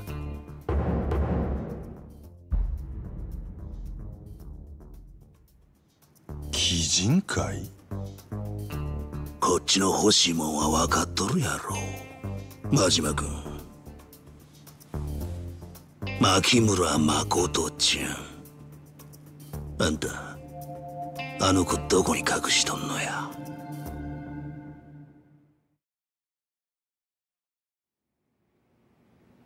前にうちの若いもんが誠ちゃんさらいにハリシンとか言ったやろ。せやけどあんたが手に負えん言うてな。結局わしが出てこなあかんようになってもうた。お前があのボンクラどもの頭っちゅうわけか。あんた強いらしいな。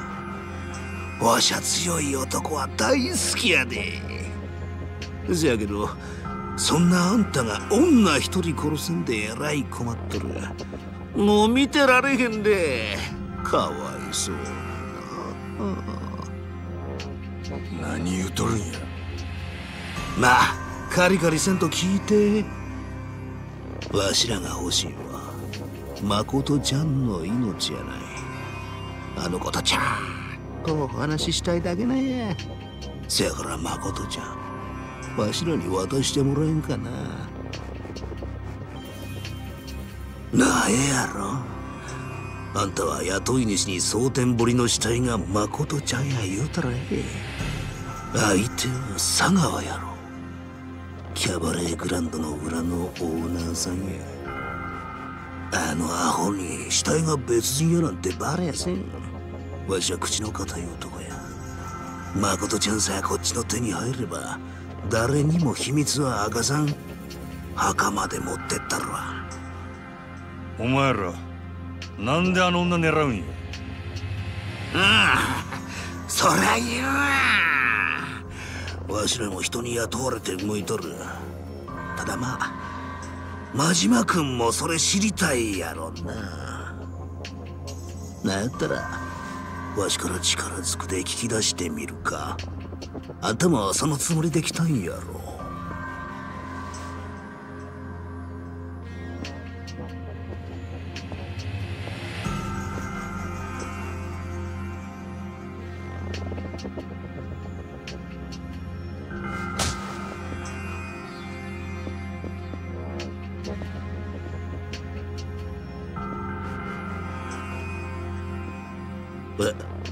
れ？なんや真島君。どないしてんや？俺は店ん中で客殴られへん。なあそれ？この店の支配人としての流儀や。なんやなんや。あんたほんまにわし好みの男やな。せやけどどないしよう 真島君の流儀も大事や。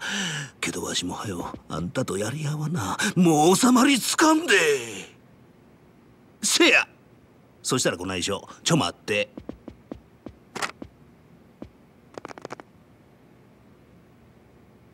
あもしもし警察でっか。わしキャバレーグランドの支配人ですわ。何？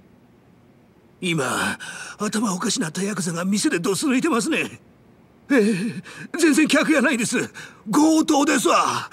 はよ助けに来てください。何考えとるんやお前。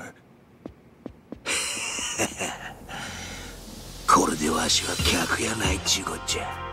札も認める立派な強盗やで支配人言うたことで強盗まで殴らんちゅう流儀はないやろ。大事な店を守るため。やはよ遠慮せんとかかってきてや真島君。わしはもう仕事抜きや。楽しませてもらうで。そこまで言うんやったら付き合うたる。俺も仕事抜きや。ほないくで真島君がっかりさせんなや！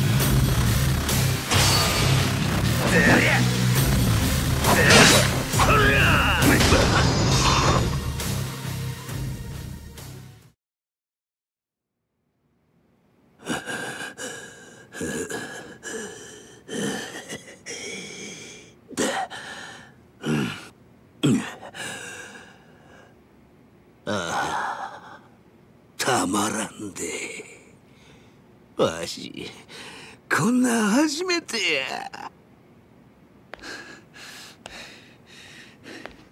しぶとい男やな。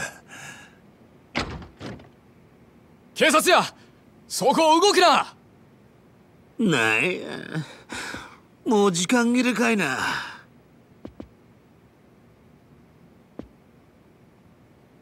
薩の旦那方わしがこの店を押し込んだ強盗ですわえろお騒がせしましたな。はあ？なんやそれ？待てや西谷お前らが女狙う理由は何や？どっからの命令や？それは次会うた時のお楽しみや。お前はもうわしの獲物やで。真島君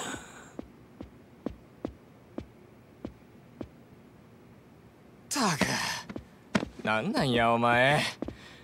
とにかくこっち来い。ああの支配人何があったんですか？貸し切りのお客様は？貸し切りはしまいや。えあんなにお金いただいてるのにもう？ええからお前は札の応対しとけ。他のもんには開店準備させろ。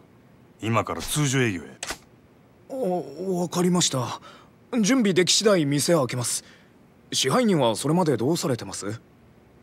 せやな。店開くまで事務所におるわ。何かあったら呼べや。はい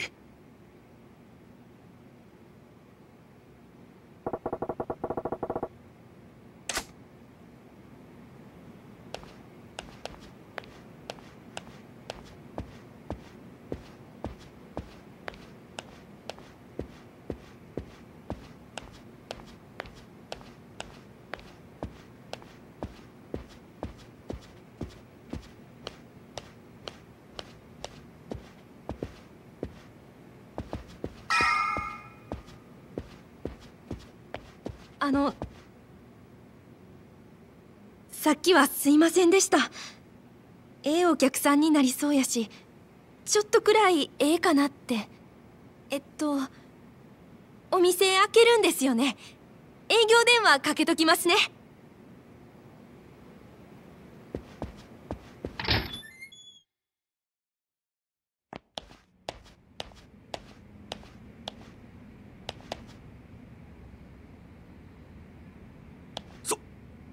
佐川よ。う邪魔してるよ。いつからここに？札が店に入ったすぐ後だ。にしても随分騒がしかったな。え？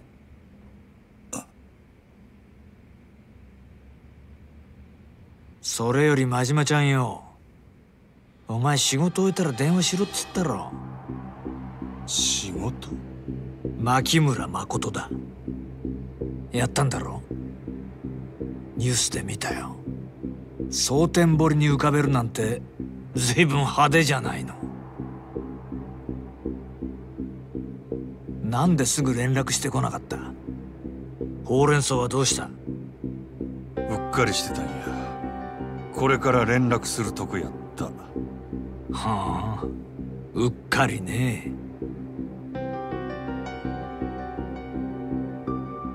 でも妙なんだよな例の女の死体。俺はなんか腑に落ちねえんだよ。お前さなんでわざわざ死体の顔潰したの？そのくせ死体には女の働き先の服着せたままだ。死体の身元隠してえのか隠したくねえのかよくわからねえじゃねえか。妙だよな。人を殺したんは初めてやったんや自分でもよう覚えとらん。気が動転してたって？はあ。まそういうこともあるのかな。どうでもええやろ。それよりももう仕事は済んだんや。これで登場会に戻れるっちゅう約束やったで。島野の親父になしつけてくれるんやろなその前にもう一つ聞きてさっき店で暴れてた男。お前あいつと何揉めてたんだ？あいつは西谷って男でな。あれでも俺と同じ近江連合の直参だ。鬼人会ってな。近江連合の？ああ。近江の中にもいろいろあるがよ。鬼人会は他の誰ともつるまねえ跳ねっ返りだどこの縄張りだろうと好き勝手やらかす。蒼天堀のトラブルメーカーってやつだ。ま俺は嫌いじゃねえよ。ただその鬼人会がなんでお前にちょっかい出してきてんだ？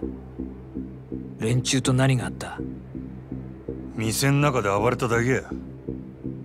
ええ酒飲み慣れてなかったんとちゃうか？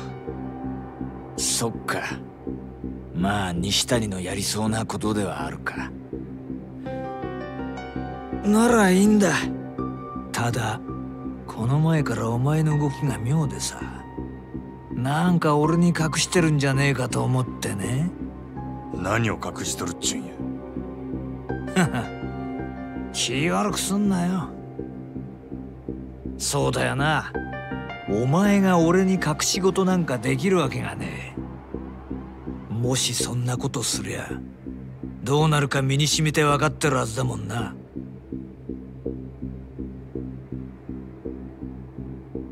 よし。そんじゃ島野の兄弟とはなしつけとくからよ。それまでしっかりこの店儲けさせてくれや。な。あ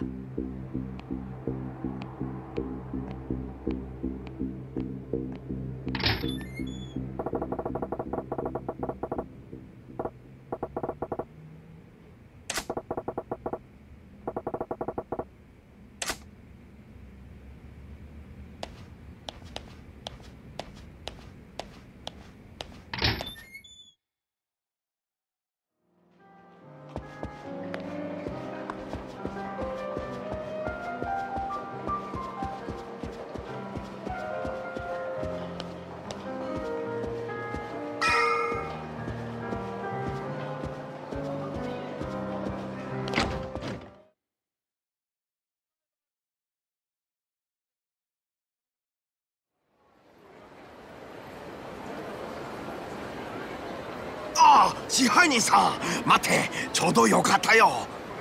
お前雀荘の闇医者か。リさんどこにいる？私リさんに急ぎの用ある。急ぎの用？薬届けたい。リさん痛み止めの薬切れる。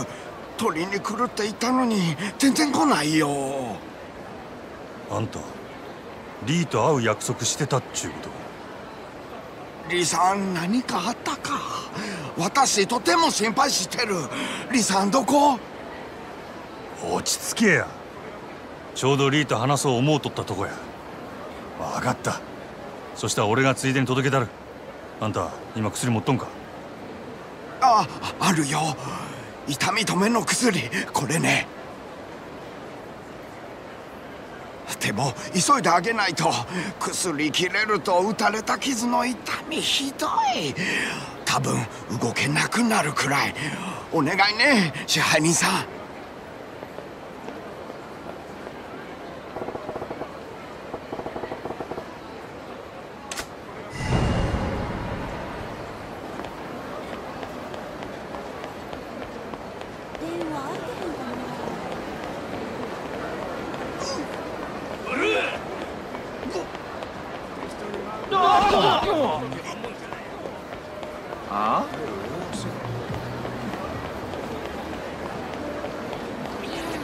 今年买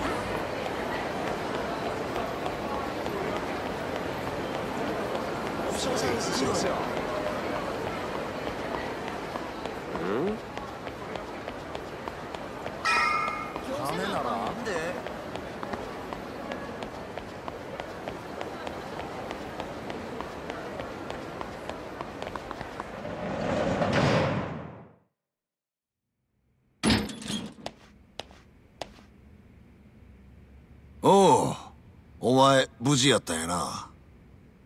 ああ。こっちも異常ないな。ん？ああ。別にないな。ならええ。あんたに預かりもんや。なんや？痛み止め屋とジャンバラヤの闇医者がお前に渡せ言うとったで。ふん。こんなん別にいらんけどなうんそれよりどないやった？電話の男とグランドで会うたんやろ。あの何かあったんですか？電話の男って。まあちょっとな。お前は気にせんでええ。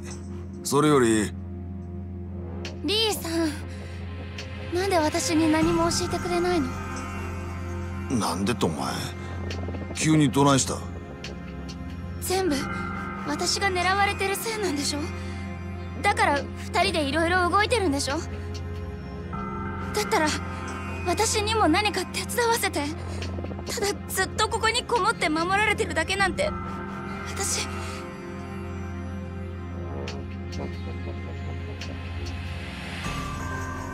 保護司会館でお前をさらいに来たヤクザらがおったやろ電話の男や U ターンはそいつらの頭で西谷って男や鬼人会いう組率いとるそいつがお前を渡せ言うてきたんや。それで？俺がさっき会うてきた。お前を狙っとる理由聞き出そう思ったんやけどな。その前に札に連れてかれてもうだ警察に？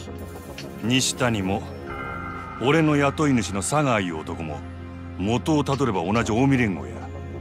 どうやら近江の中でも牧村誠をさらう派と殺す派で別々に動いとるらしい。西谷はさらう派佐川が殺す派ちゅうことか。せや。けど今一番の問題は佐賀の方や。あいつは多分俺がみすみすこの子殺さんかったこと感づいとる。なんやと？ほんまか？お前らはすぐ蒼天堀から出た方がええ。ここも佐賀に見つかるのは多分時間の問題や。リーどっかこの子連れて逃げる当てないか。まあないこともない。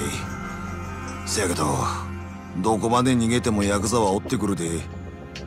この子はいつまでビクビクせなあかんね俺が何とかしたらとにかく今は町を出るんや。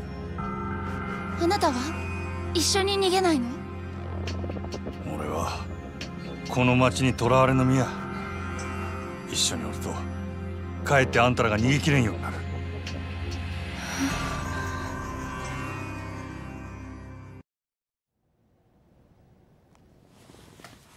しゃあない誠ここ出るで。あんまり時間もないようや。え他にも誰か？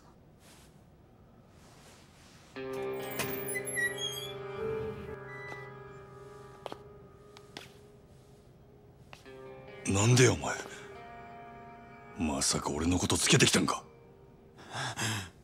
リーさんあなた前に私に教えてくれた。あなた言ったよ。日本で生きる中国人とっても大変。だから私たち助け合う。でも最後に自分守ってくれるのはやっぱりお金ってリさん言ってたから許してくれるよねリさんおんとれわしら撃ったんか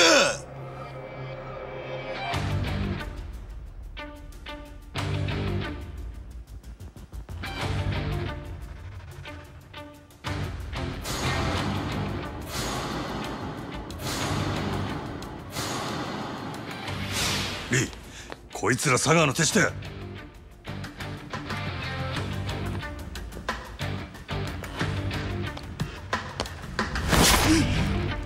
え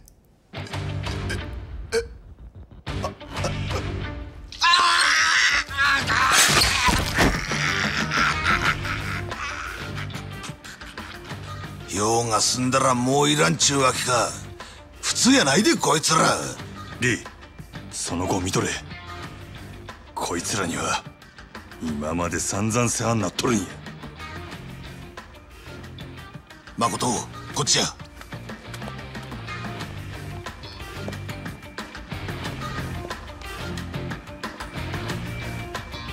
行くで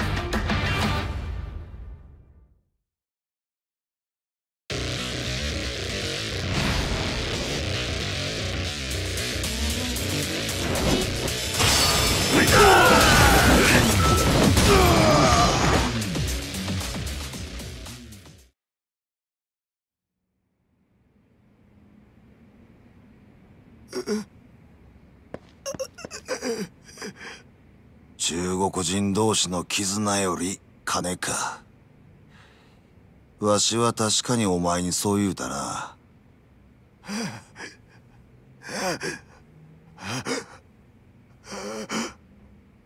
せやけど死んだらせっかく手にした金使えんやろがダホ。リさん？リーまだ終わっとらんで他にも佐川の手のもんが駆けつけてくるはずや。そいつはほっとけ。あんたを裏切った男やぞ。おいどないしたんやリーこのままほっといたらこいつ死んでまう。助ける言うんか。お前誠を連れて早よここを出ろ。わしはこいつをジャンバラ園連れて行かな後で合流する。お前は誠と一緒に保護司会館に行け。保護司会館？なんで？や誠を連れながら歩いて逃げきれんやろ。車がいる。大串会館の前に店の車止めとるんや。何が起きてるの？リーさん！誠すまんがわしは。リーのおっさんは後で合流するお前のことは俺が守ったる。急ぐですぐに他の追っ手が集まってくるんや。全部私のせい。ごめんなさい。私のせいでごめんなさい。泣くことあらへんがな。お前は何も悪ない。誠を頼むで。分かっとる。行くで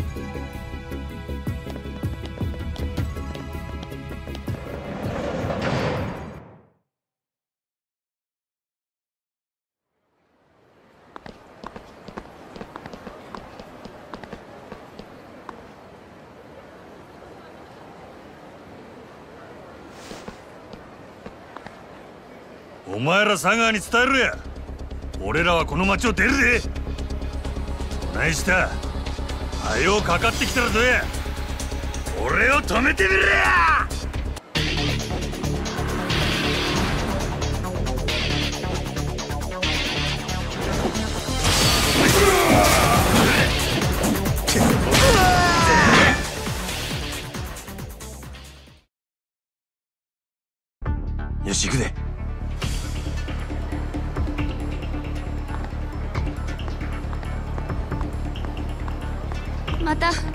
私のせいでみんなを巻き込んで。お前のせいちゃう言うとるやろ。余計なことは考えでえ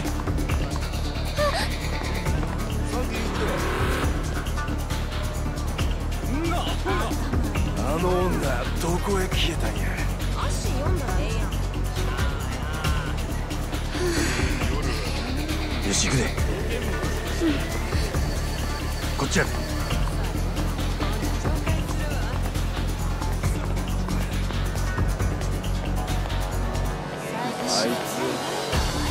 いつ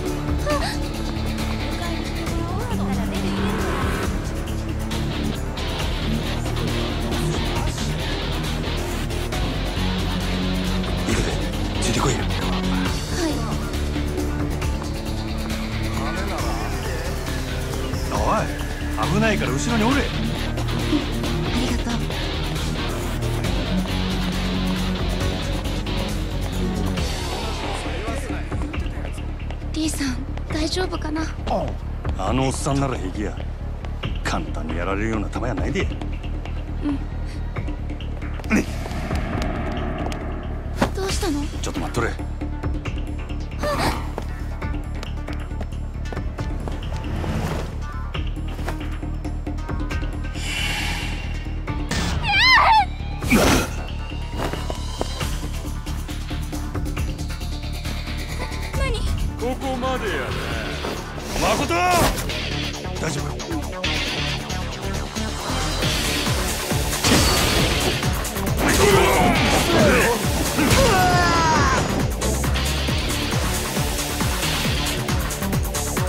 行くで。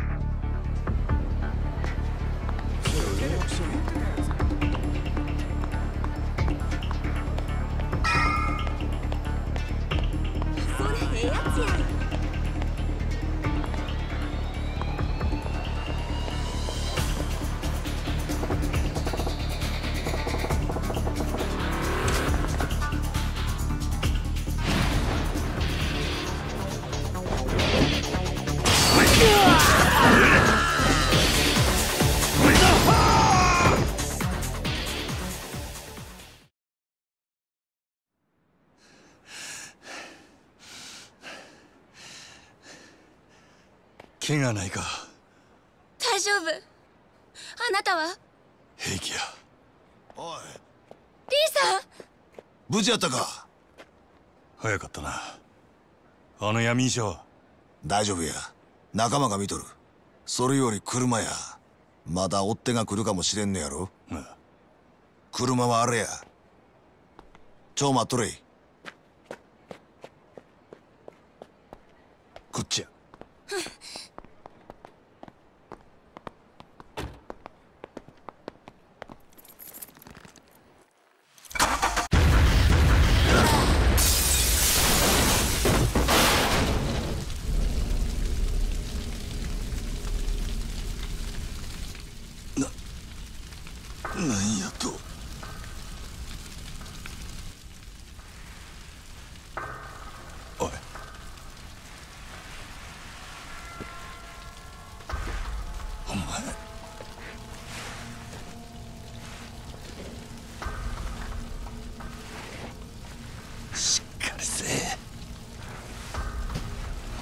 と。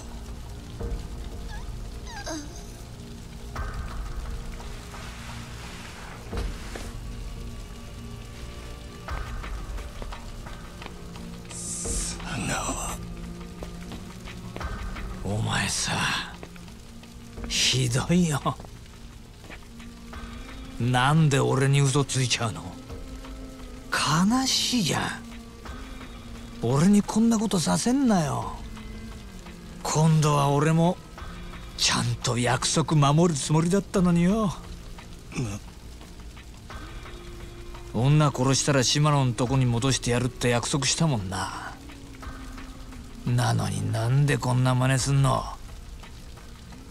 嘘つかれたらお前のこと助けてやれないよ。もう殺すしかなくなっちゃったよ。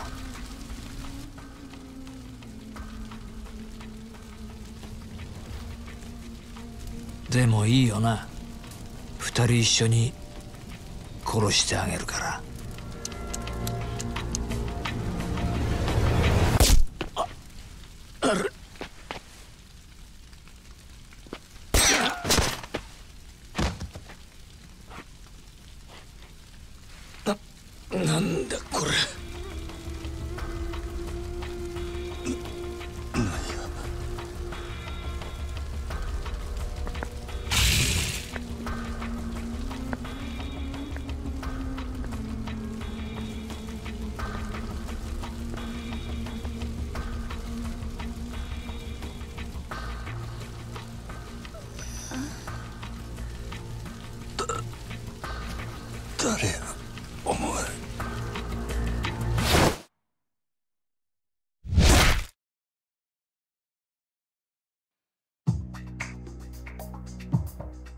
桐生が抜けた堂島組では幹部の筆頭だった久世に代わり堂島組若頭補佐太平一家組長阿波野弘樹が新たに台頭していた。阿波野は橘不動産が持つ空の一坪の情報を奪うべく桐生に橘の身柄を引き渡すよう迫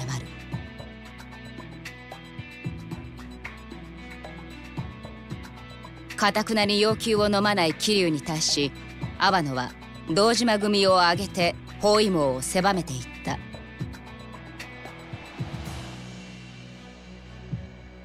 桐生は兄弟分である錦山の助けによりカムロ町を脱出するがその錦山とも決別を余儀なくされる。東上界最強と言われる堂島組との対立が深まる中それでもカムロ町へと戻っていく桐生そこには桐生の首を狙う強大な力とわずかな仲間とが待っているはずだった。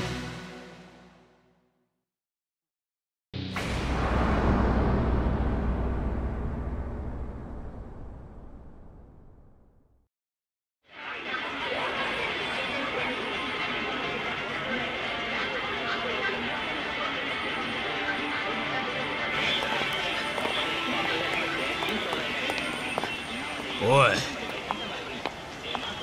いたいたいたぞ俺。桐生じゃねえよ。この野郎。紛らわしいなりしてんじゃねえ。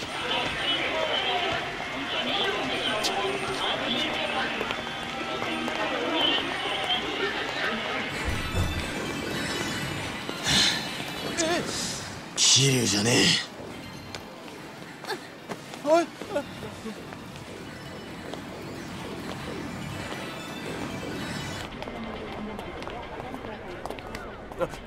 こいつ見たらすぐに知らせろ。いいな。はい。はい。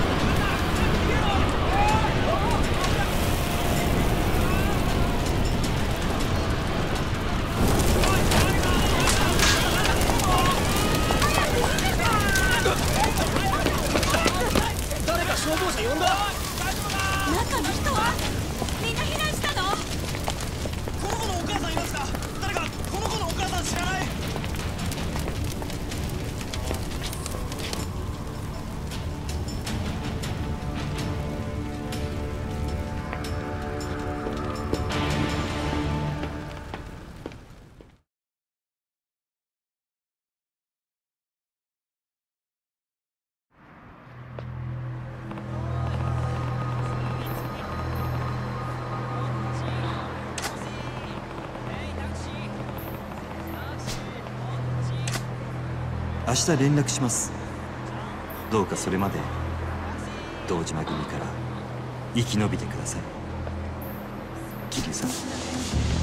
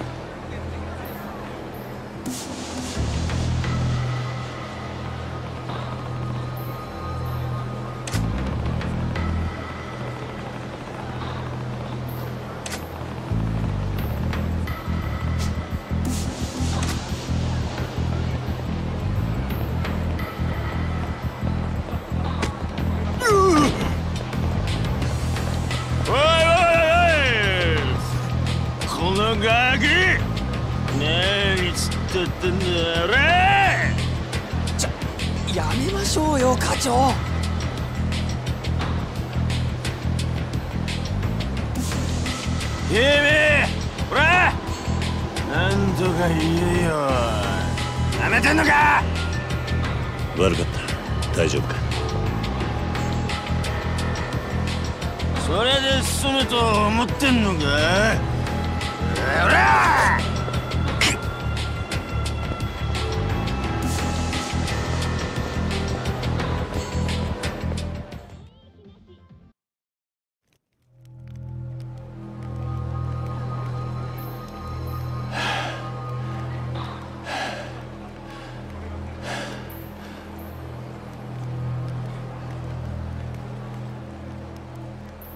あのもしかして桐生さん？やっぱり桐生さん。レイちょっとどうしたの？血が出てる。怪我してるの。大丈夫？ああ大した怪我じゃね何があったの？えいいんだ。何でもない。それよりもう言ってくれあんたも俺と一緒にいるとまずいことになる。分かってる。堂島組に追われてるの。ねあ。だったらうちの店に来て行くとこないんでしょダメだ。あんたに迷惑がかかる。俺のことはほっといてくれ。そんなこと聞気にしないで。ほっとけない。錦山君の兄弟分を見捨てるなんて。あいつとはもう兄弟の縁を切ったあんたも俺に構うな。泣き添えにしたくない。そんな風に言われて引っ込めると思う？あんまり舐めないでコナンだったら今ここで大声あげる。本気よ。こんなとこにいればすぐ見つかる。お願いだからこれ以上時間かけさせないで。いい？私は先に行って店を閉めるから。桐生さんは少ししたら後から来て。目立たないように裏口から入るといいわ。あそれじゃあ後で。必ずよレーナすまない。謝るのはそれで最後にしてね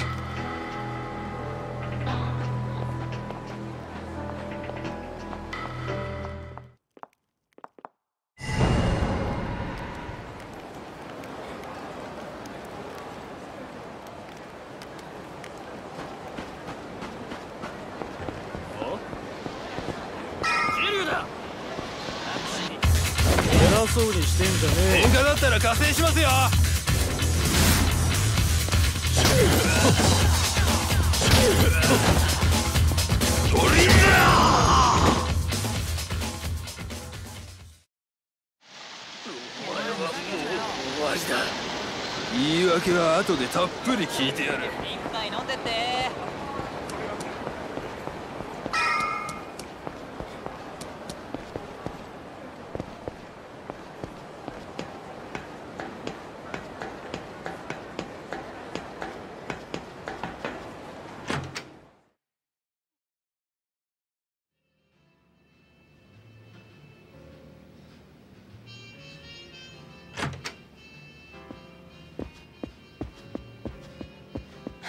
てくれたのね桐生さん。あまり長いはしない。立花って男から連絡が来るまでだ。それまでの間頼む。もちろん。座って。とにかく頭の傷手当てしなきゃ。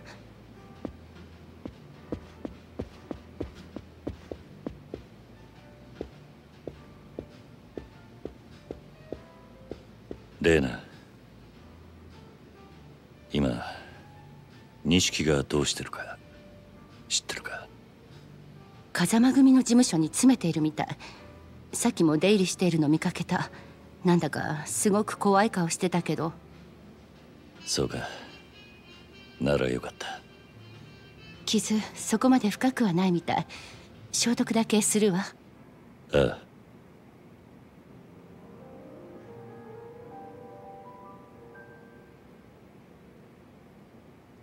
さっき桐生さん錦山君と兄弟の縁を切ったって言ってたよね。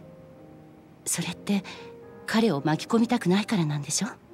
今の俺は堂島組全員に追われてる。あいつはもう俺と関わらない方がいい。そんなことだと思った。結局あなたたちってお互いを自分の身以上に思ってる錦山君はうちに来る時いつもあなたのことを楽しそうに話してた。私にはそんな仲間がいないからすごく羨ましい。何にしても。俺はこれ以上あいつの荷物になりたくね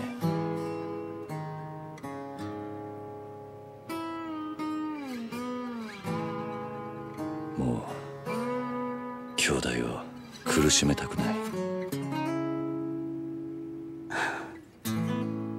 桐生さん。一応知らせとくけどあなたのこと警察も探してる。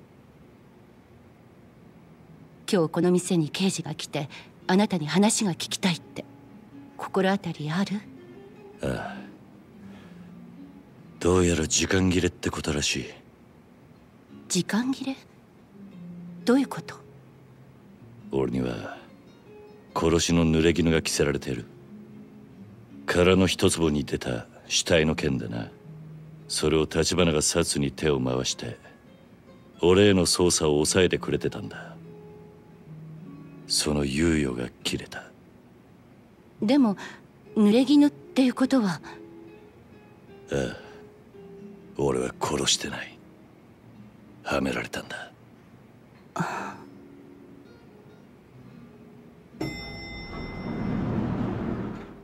桐生さん誰か来る。今の時間もうエレベーターは動かないはずなのに。僕の部屋に隠れた。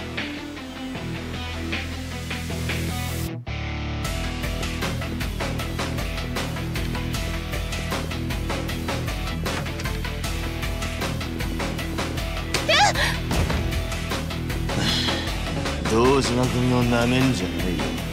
姉ちゃん。ほら出てこいやキリこの店はずっと張ってたんだよバカが。こそこそ隠れてんじゃねえぞほら。桐生さんダメ逃げて。やっぱり嫌がった。おい応援呼んでこい。全員だ。へい。すまないレ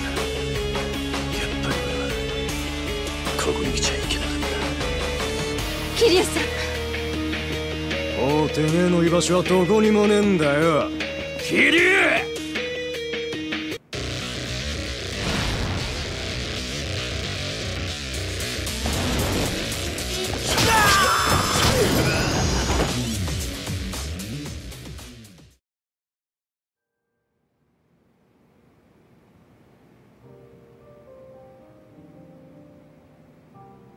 桐生さん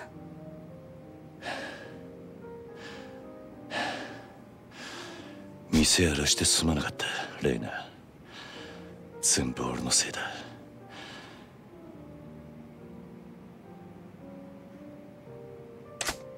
すぐにこいつらの仲間が集まってくる。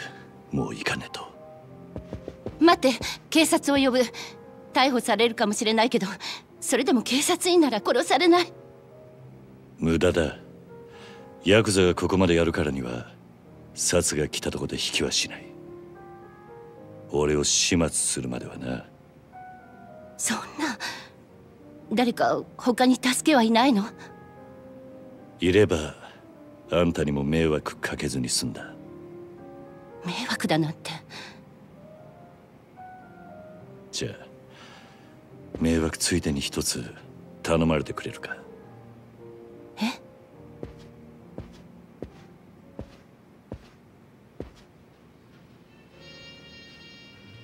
こいつを。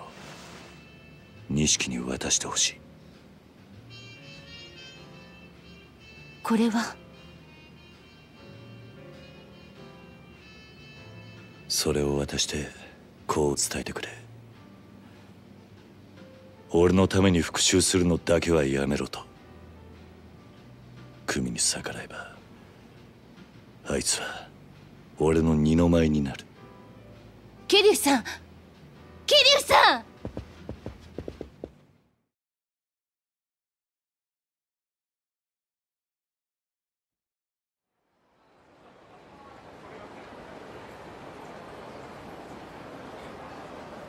もう逃げらんねえぞ桐生ああだがこんだけ道連れがいりゃ寂しい思いしないです。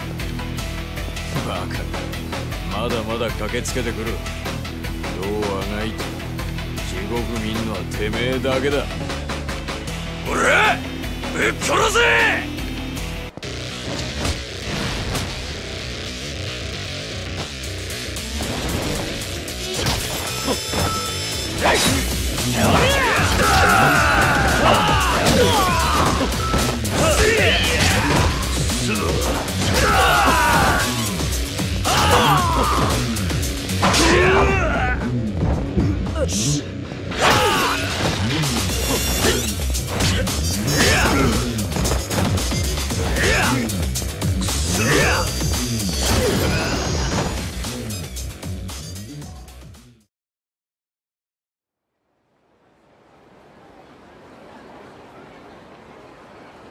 な、なんて野郎だ。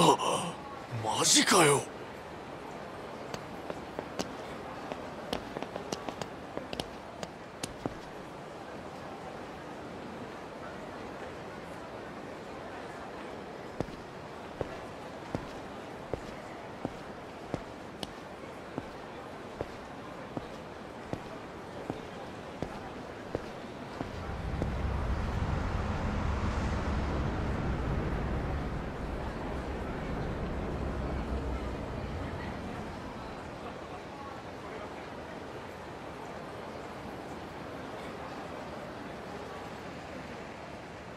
兄弟。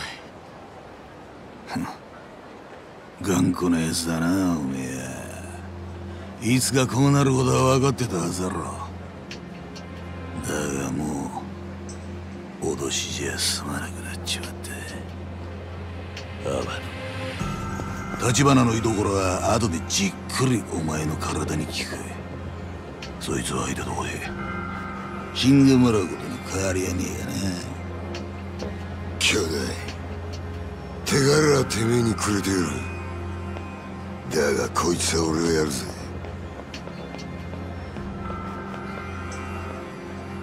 キリおめえが変わった立花はどうしてんだろうな。ここんとこばったり姿消しちまったら連中おめえを見捨てたってわけだ。風間の頭もおめえを見殺しにする気らい。報われねえな。今時の仁義ってやつはよ。立花は必ず殻の一坪を手に入れる。そうなりゃあんたらもまずいことになる。俺はどんな目に遭おうが立花の居所は吐く気はねえ。今ここで追い詰められてんのは俺だけか。った風な口聞くんじゃねえぞ若造任せとけ兄弟。俺がすぐに黙らしてやる。たっぷり楽しましてもらうぜ。キャリ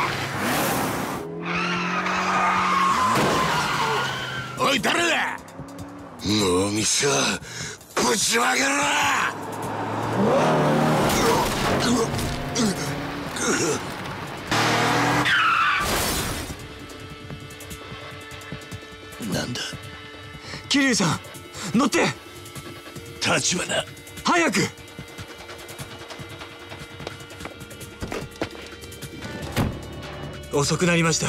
桐生さん。あいにく車の運転は得意じゃないんです。しっかり捕まっててください。逃がすなおめえら！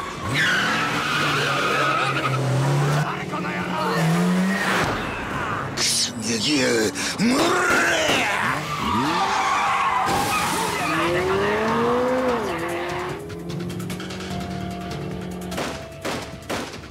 クソや堂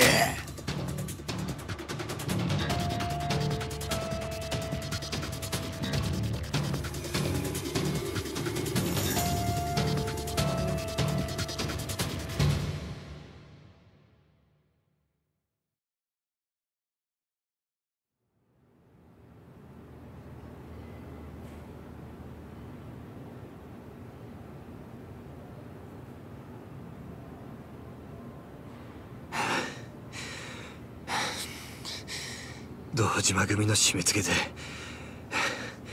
うちの情報網も動きが鈍っていましてね。なかなかあなたの状況がつかめず小田さんに知らせる暇もありませんでした。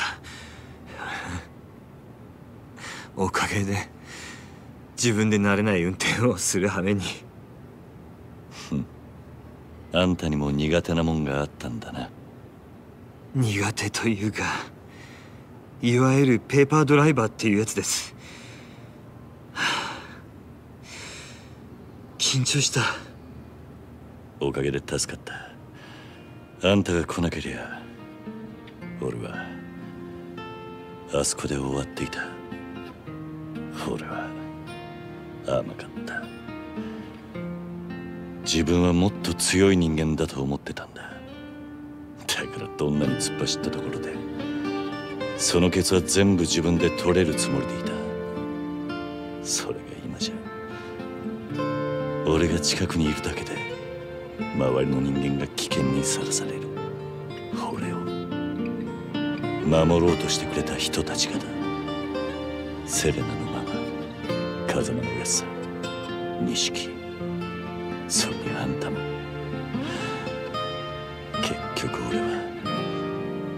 たくさんの人間に守られていただけだった。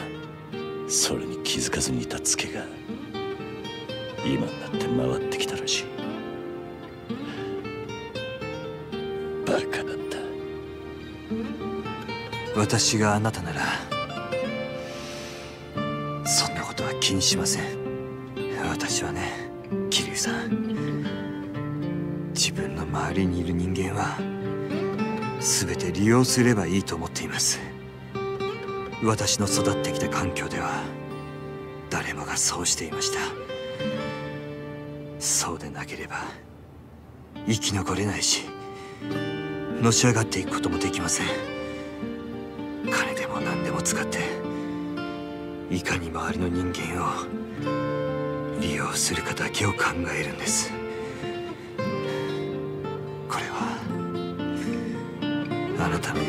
ちゃんには遠い世界の話でしょうけどね。ならさっき俺を助けに来たのは俺を利用するためってことか。そうなりますね。あんた何が言いたいんだ？私は人を利用してきた結果として金と力を持つようになりました。どうも私にはその方面の才能があったようです。ただしあなたと違って私には私のために命を張るような仲間はいません。私の周りにいる人間もまた私のことを利用しているだけです。あなたが自分をバカと言うなら私もいくらかそんなバカになりたかったと思います。立花。あなたを守ってくれる人たちは自分の損得で動く人間でないことを知っている。その上あなたは一度こうと決めた相手をバカみたいに命がけで信じることができる。そんな人間は特に今みたいな時代めったにいるもんじゃありません。私はまだ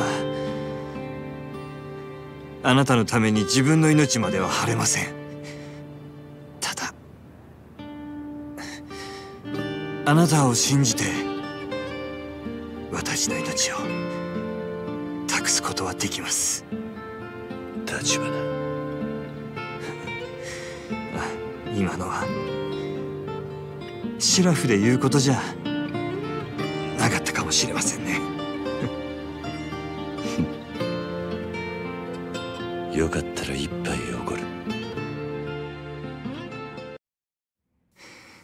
しましょう。